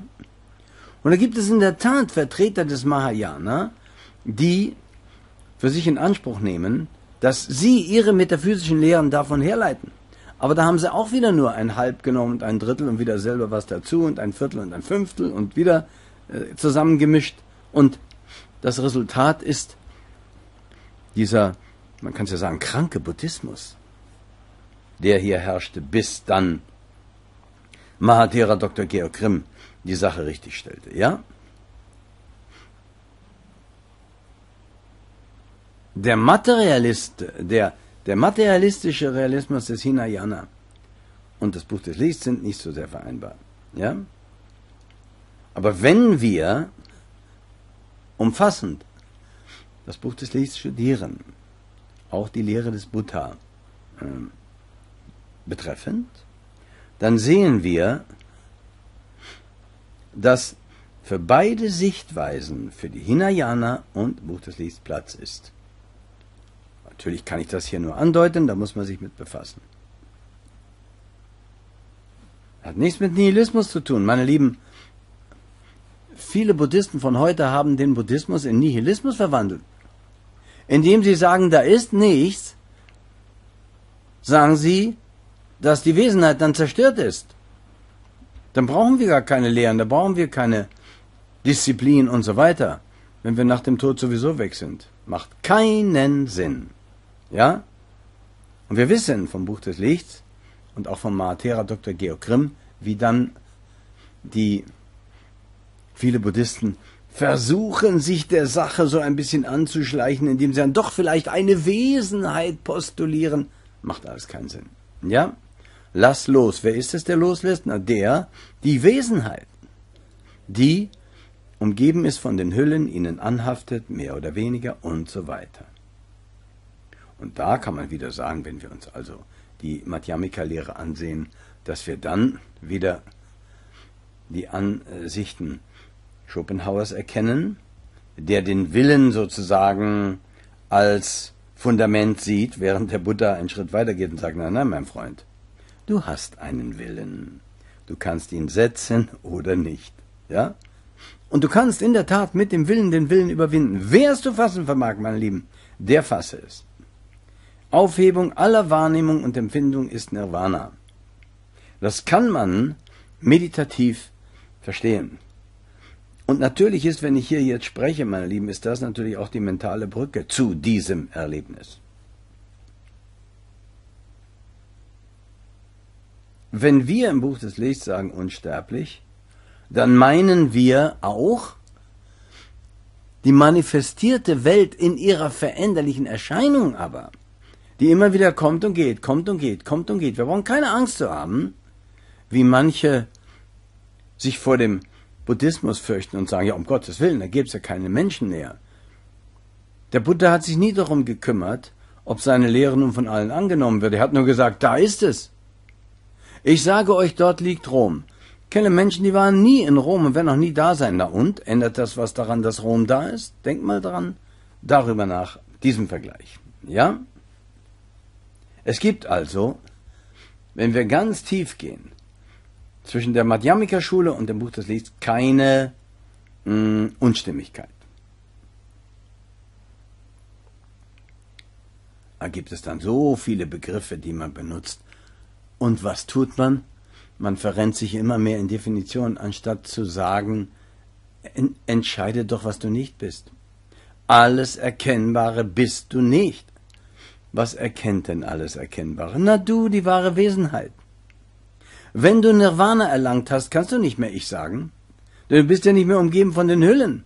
Sobald du aber aus Nirvana zurückkommst, sei es aus Mitleid mit einer leidenden Welt oder sowieso im Meditationsvorgang, der Buddha während seiner Lebenszeit hat ja viele Male Nirvana erlangt. Und in Nirvana sprich, sagt man nicht ich. Aber wenn er aus Nirvana zurückkommt, benutzt er wieder die Hüllen, die dort meditativ warten, wenn man so will, um ich zu sagen, meine Lieben, das ist höchstes Wissen, ja, welches zur Loslösung führt oder zur vernünftigen Anhaftung. Zwischendrin stolpern wir, fallen wir, rappeln uns wieder auf. Ja, so ist das nun mal. Jahrtausende, Jahr, ja Millionen Jahre vielleicht sind wir in die anhaftende Richtung gewandelt. Da soll das von einem auf den anderen Mal wieder klappen. Ich bitte euch. Ja? Das Buch des Lichts lehrt auch die höchste Wirklichkeit, das eine Leben, zeitlos, ewig, unsichtbar, allgegenwärtig, ohne Anfang und Ende, hervorbrechend immer wieder aus dem Urgrund, darum periodisch in diesen Manifestationen. Periodisch, meine Lieben, ja? Es ist eine selbst existierende Realität, unerschaffen. Und, meine Lieben, wenn man die lieben Muslime fragt, wer hat euren Allah erschaffen? Ich sage es immer wieder, dann sagen die ja niemand, der war immer da. Wenn man die lieben Christen fragt, wer hat euren Gott erschaffen? dann sagen die, ja niemand, der war immer da. Dasselbe behaupten wir von allem. Alles ist unerschaffen und interagiert periodisch. Wer es zu fassen vermag, der fasse es. Wenn das Buch des Lichts Parabrahman lehrt, ein, eine Situation, die ich auch besinge, dann ist das eben eine Realität, ein absolutes, ein Feld des absoluten Bewusstseins, die Wesenheit welche dann zum, mit dem bedingten Dasein nichts mehr zu tun hat. Darum ist es ein Feld des absoluten Bewusstseins, welches aber mit dem Bewusstsein hier in den Ebenen, sei es Hölle, Erde und Himmel, nichts zu tun hat. Ja? Und wenn man dann wieder den Sturz in die Tiefe wagt, dann kommt wieder Dualität. Subjekt, Objekt. Natürlich sagen viele, ja, auch Nirvana ist Anatta, ist ein Objekt. Ja, aber dieses Objekt, wenn man so will, diese Situation, dieser Urgrund unterliegt nicht der Veränderung wie die Materie, mit der man sich umgibt. Ist der einzige Unterschied. Ja, ganz hohe Wesenheiten herrschen souverän über die Materie, gar kein Problem. Gehen rein und raus, rein und raus, wie sie es brauchen. Bitte, geht auch. Aber dazu müssten sie ja erstmal Nirvana erlangen, um das bewusst tun zu können. Versteht ihr, was ich meine? Ich äh, habe Kenntnis von einer Tendai-Sekte oder Kegon-Sekte.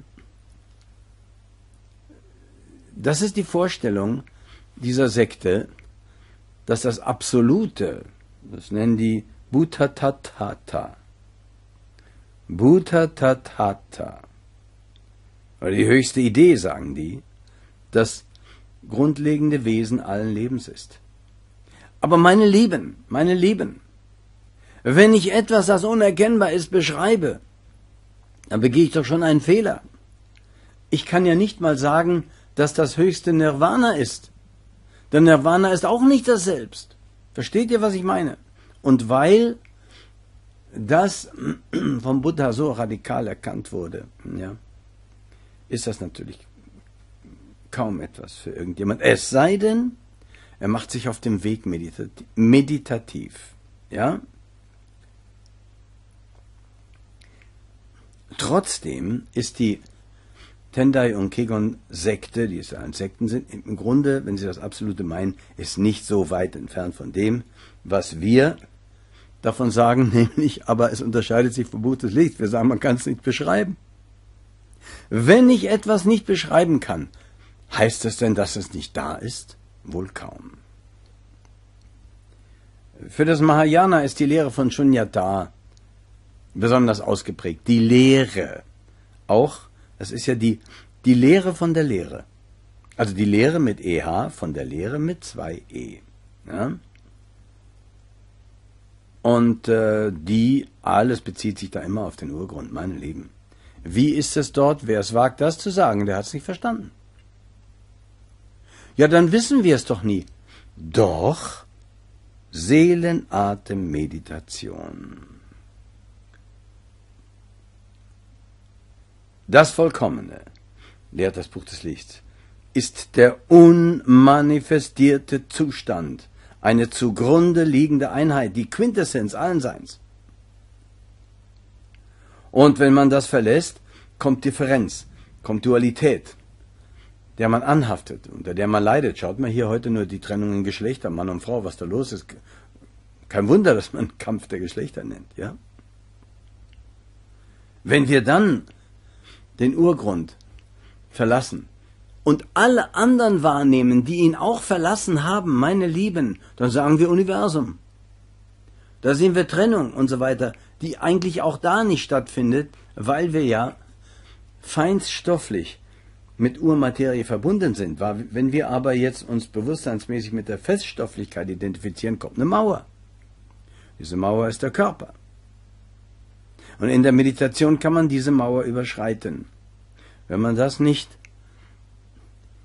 pflegt und immer wieder praktiziert, dann fällt man halt immer wieder in die Illusion der Dualität. Meine Lieben, absolutes Sein ist außerhalb der Reichweite der Wahrnehmung. Es muss also noch etwas anderes geben als Wahrnehmung. Denn Nirvana ist, vorsichtig ausgedrückt von hier, die Aufhebung aller Wahrnehmung und Empfindung. Ja, was ist es dann? Seelenatemmeditation führt uns dahin und die Lehre. Und das nennt man dann eben in buddhistischen Schulen auch Shunya oder Lehre. Ja, Lehre im Vergleich zu hier. Ja?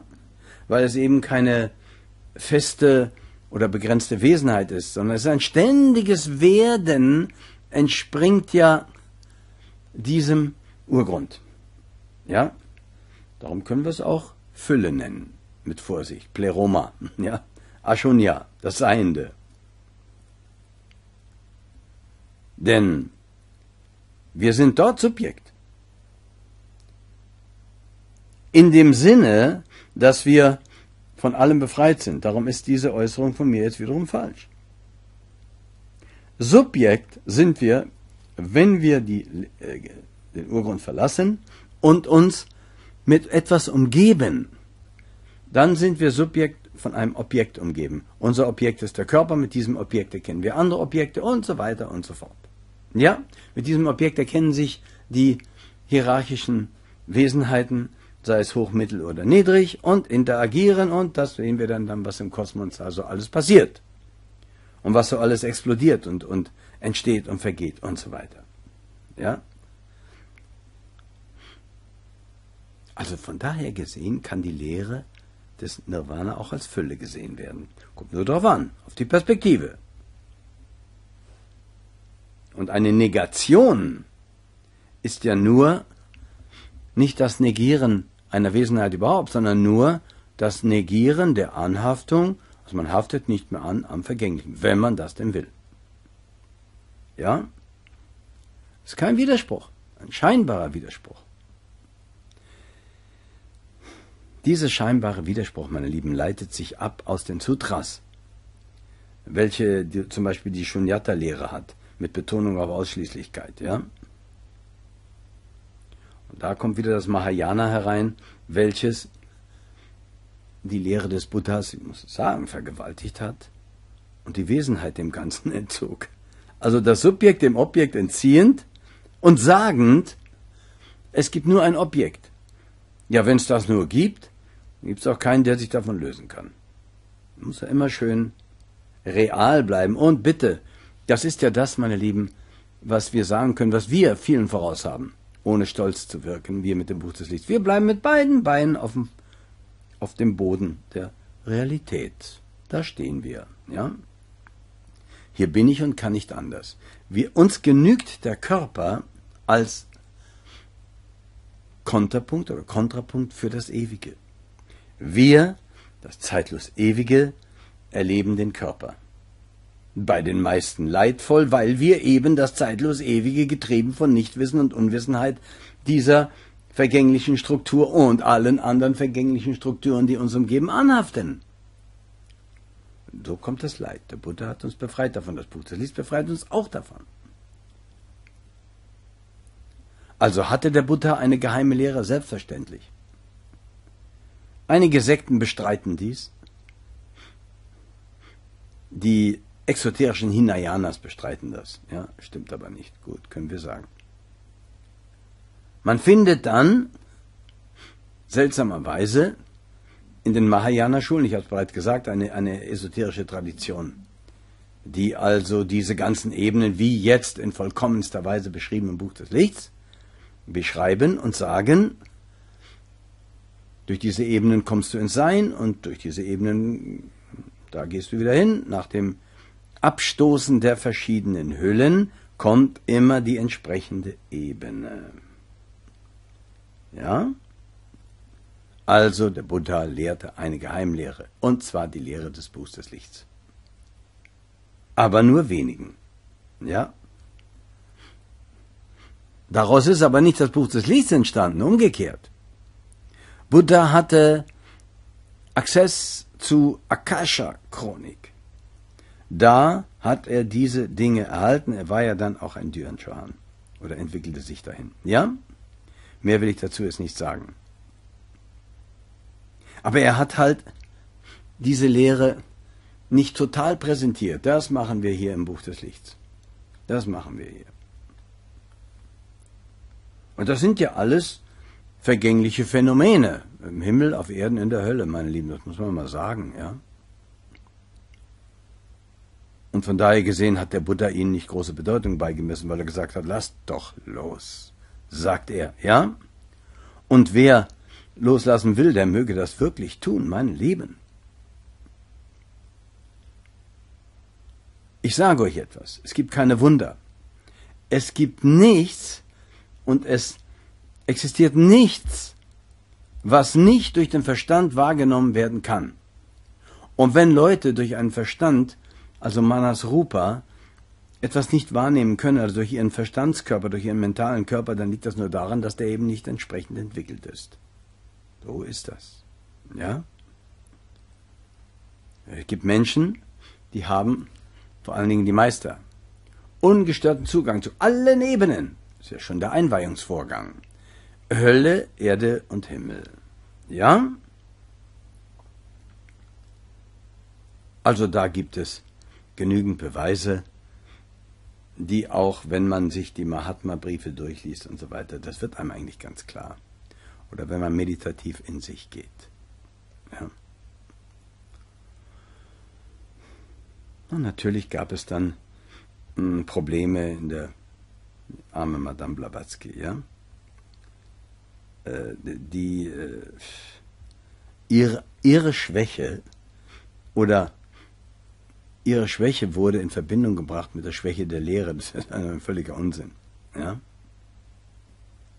Wenn ich jemand habe, der im Rollstuhl sitzt und mir beschreibt, wie ich nach Rom komme, um das Beispiel mal wieder zu wiederholen, dann ist das deshalb doch nicht falsch.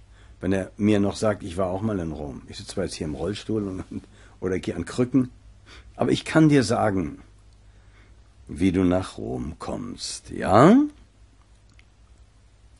Und äh, diese arme Frau, ja, die hat zehn Jahre oder länger auf drei Kontinenten große Mühe, Zeit, Geld, Gesundheit gebraucht, ja. Und das nur, um andere zu täuschen. Ach, ich bitte euch. Und da wollten sie ein, ein, ein Motiv anhängen, sagt, ja, das mag's nicht sein, aber es ist was anderes, ja. Damit diese Verleumder, wie zum Beispiel Mr. Hodgson und so weiter, ja, ihre Schlussfolgerungen glaubhaft machen konnten, haben sie gesagt, ja, das war eben eine der vollendetsten, geistreichsten und interessantesten Hochstaplerinnen der Geschichte. Ja, man muss schon sehr hochstaplerisch selber sein, um so eine Äußerung machen zu können. Sie sagen, sie war eine russische Spionin und die Absicht war, die britische Herrschaft Indiens zu untergraben. Ja, wär's ihr doch nur gelungen, meine Lieben. Ja, diese britische Perversion, die armen Inder hat man alkoholsüchtig gemacht. Die Verbrecher der Krone, sage ich immer, der äh, Mutter der Königin und so weiter dann, auch heute selben Verbrechen. Ja. Das sind Sklavenhalter. Die haben, und das Buch des Lichts beweist das, auch die Chinesen ähm, opiumsüchtig gemacht und so weiter. Schlimm, schlimm, schlimm, mein Lieben. Hätte sie es doch nur geschafft, die britische Herrschaft in Indien zu untergraben, hätte ich ihr ja noch eine extra Seite gewidmet, ja? Man fragt sich auch, meine lieben Lieben, ob die Autoren der Mahatma-Briefe, die ja, laut Aussage der Mahatma-Briefe, Buddhisten waren, nicht Material aus anderen Quellen haben, welche Orientalisten nicht zugänglich sind. Naja, man übersetzt da ein Beispiel aus einem Brief, eine Paraphrase. Ich glaube, es ist Samuel Beals äh, Catena of Buddhist Scriptures. Da will der andeuten damit, dass es sich bei den Briefen um eine Erfindung oder ein Schwindel handelt. Meine Lieben, ja? Wir können das vom Buch des Lichts nicht so erkennen. Das Buch des Lichts weist ganz klar darauf hin, dass diese Lehre angedeutet in ihrer Richtigkeit schon an verschiedenen Stellen des Kontinents der Erde, gesamten Planeten, von unterschiedlichen Personen, die sich nie selbst gesehen haben, verkündet wird. Das weist ganz klar hin auf eine Quelle, auf eine und dieselbe Quelle. Ja?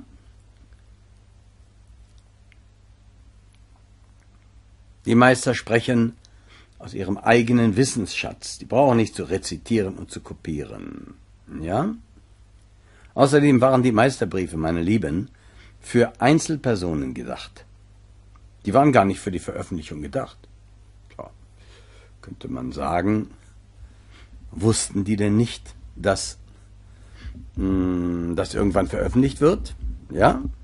Dazu muss man wieder in Duhan-Johannischer Definition sagen, die Duan Johans leiten, aber auf das Karma derer, die sie leiten, können sie nur begrenzt Einfluss haben. Und sie nehmen das dann in Kauf. Kritiker schreiben über die Mahatma-Briefe, dass der allgemeine Eindruck von den Briefen ist, dass sie geschwätzig und polemisch sind. Und mit ein bisschen Philosophie die in hundert anderen exoterischen Büchern besser dargestellt wurde. Meine Lieben, ich sage immer, wer die Bibel wörtlich nimmt, der hat ein ganz armseliges Märchenbuch da. Ja? Da haben nun äh, große Weise, also auch christliche Weise, sagen, ja, wenn ihr meint, dass die Bibel die Wahrheit ist, ja, und ihr das wörtlich nimmt, da unterschätzt ihr aber unsere schriftstellerischen Fähigkeiten. Ja? Naja, das Buch des Lichts sagt, man muss Eindruck gegen Eindruck stellen. Und wir lehren, die Briefe enthüllen Intelligenzen und deren Wissen, das durch Umfang und Tiefe von nichts übertroffen wird, was wir im Bereich der Literatur kennen. Diese Leute, die Meister, manifestierte Jörn Johans, sind uns so voraus wie ein Mensch einer Küchenschabe. Ich kann es mal so sagen. Ja? Da handelt es sich um selbstloses Mitgefühl, Geduld. So wie wir ja auch mit Küchenschaben vielleicht Geduld haben, ich weiß nicht. Oder sagen wir jetzt was anderes, mit Haustieren, ja? Die in der Wohnung plötzlich sich entleeren. Naja, wir können den Hund nicht totschlagen, sondern sagen, gut, das ist verständlich, das ist ein Tier und so weiter. Nur mal als Beispiel jetzt. Ja? Wir sind Tiere im Vergleich zum Bewusstsein der Meister. Sogar monadisch kann man fast sagen gesehen, ja. Obwohl man diesen äh, Ausspruch äh, mit Bedacht, mit äh, Begrenzung sehen muss. Natürlich sind die Briefe fragmentarisch. Aber ich habe hier die Gründe bereits erklärt und erwähnt. Die haben ja zum Teil zu tun mit intimen persönlichen Problemen, Empfänger und Verfasser betreffend. Da ist man geduldig, da werden Gedanken immer wieder und wieder gekaut, damit man den Adressaten überzeugt, nicht um ihn zu nötigen. Ja? Diese Briefe, Mahatma-Briefe, sind unerschöpfliche Quelle von Wissen und Weisheit. Für mich wertvoller als alle Vedanta und buddhistische Literatur, wenn exoterisch gesehen. Ja, natürlich gebraucht man, meine Lieben, oder hat man unterschiedlichen Gebrauch von Begriffen. Buch des Lichts im Unterschied zu Buddhismus. Aber das hat nichts zu tun mit der, Authentiz mit der Authentizität des Buchs des Lichts. Akzeptieren wir mal, dass das Buch des Lichts aus, einer, aus einem Urwissen entstanden ist. Beständig esoterische Weisheitslehre. Identisch unter anderem mit der verborgenen Lehre des Gautama Buddha. Und dann ist die Tatsache oder die Möglichkeit, dass grundlegende Begriffe anders interpretiert werden, überhaupt nicht überraschend, sondern man kann es so erwarten. Ja? Also man muss sehen, dass da Briefe gewechselt wurden mit Kritikern des Buddhismus und Anhängern, ja? Aber man muss sagen, dass die esoterische Seite des Mahayana-Buddhismus enthüllt etwas und äh, die Lehre des Buchs des Lichts. Beides nicht so widersprüchlich, wenn man sich dem Kern zuwendet oder der Kernbedeutung. Und das kann eigentlich nur, meine Lieben, jetzt kommt's, ein Eingeweihter voll verstehen. Bin ich ein Eingeweihter? Nein. Irgendwann einmal vielleicht? Ich hoffe. Und darum kam mir das Buch des Lichts, um diese letzte Hürde wegzunehmen und uns alle der Einweihung zuzuführen, wenn wir es denn so wollen. Ja? Wie kann man sich ein Urteil bilden? Wir haben viele Mahayana-Schulen, Chinesisch, Japanisch, Tibetanisch oder Tibetisch. Riesenkanon. Buch des Lichts gibt nicht eine Darstellung nur all dessen. Ja? Natürlich gibt es Sutren, in den, die ein anderes Bild des Buddhismus zeichnen. Wir wissen auch warum. Wie kann man sich entscheiden? Tja, meine Lieben, diese Entscheidung wird, nimmt dir keiner ab. Man befasst sich mit dem Buch des Lichts und entscheidet dann. Wir sind ja keine Sekte, die zwingt, so wie andere. Ja, dann sagen, wenn du unsere Religion verlässt, dann passiert dir dies oder das. Oder du musst erstmal, zum Beispiel bei Facebook, wollen die wissen, wenn du Facebook verlässt, ja warum eigentlich und was ist, was können wir machen, was interessiert die das? Ja? Ganz interessant, das hat auch Sektencharakter, meine Lieben. Damit haben wir nichts zu tun. Wir sind ein Haus mit offenen Türen und Fenstern. Eigentlich kann man sagen, ohne Türen und Fenster. Bei uns zieht es ganz schön. Aber man kann kommen und gehen. Nun sagt man, dass die hinduistische und buddhistische Terminologie verstümmelt und durcheinander geworfen wird. Und es wird dann zu einem Labyrinth von Begriffen, die man schlecht verdaut. Ja, das kann sein. Aber das haben ja hat nichts mit uns zu tun. Ja?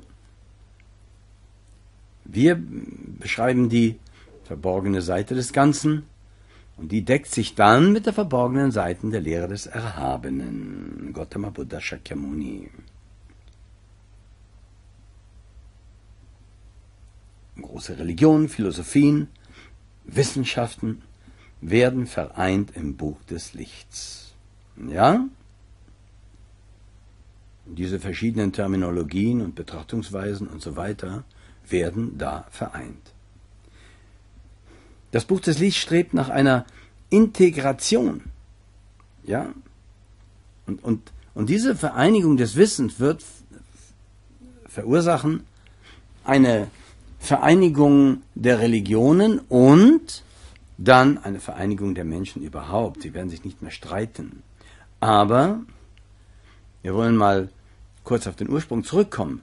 Es gab einst eine Lehre, als der Mensch immer tiefer in die Materialität fiel, verzweigte sich diese Lehre in die Religionen von heute. Und jetzt, wo wir wieder auf den aufsteigenden Ast zur geistigen oder auf den aufsteigenden Bogen zur geistigen Quelle sind, ist die Zeit gekommen, von Glaubenden zu Wissenden zu werden und die Religion wieder zu vereinen. Manche sagen, warum verwendet das Buch des Lichts so viele Worte für denselben Gegenstand? Ja? Und der reine Pfad sozusagen wird nicht so erwähnt. Ja, wenn man alle Bände liest, dann weiß man schon, dass dem ist nicht ganz so. Ja?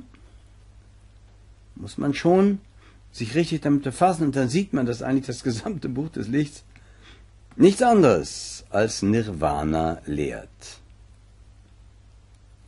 Ist halt halb verhüllt für den, der da noch so nur so darüber hinweggeht und meint, ich habe es einmal gelesen, vielen Dank, so funktioniert das nicht.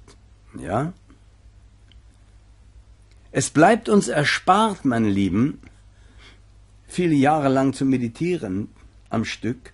Wir können bereits jetzt einen, obwohl auf Meditation begründeten, regelmäßiger Meditation, Pfad wandeln, dessen Brücke aus Manas Materie besteht, aus Gedankenmaterie.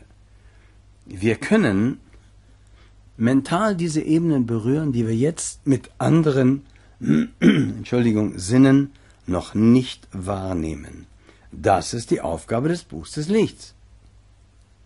Wenn andere äh, sprechen von Erzengeln, ja, dann reden wir auch von Elohim, Kumara, Dhyan Chohan, Buddha, Ahi, Tathagata und so weiter. Ist an sich immer dasselbe.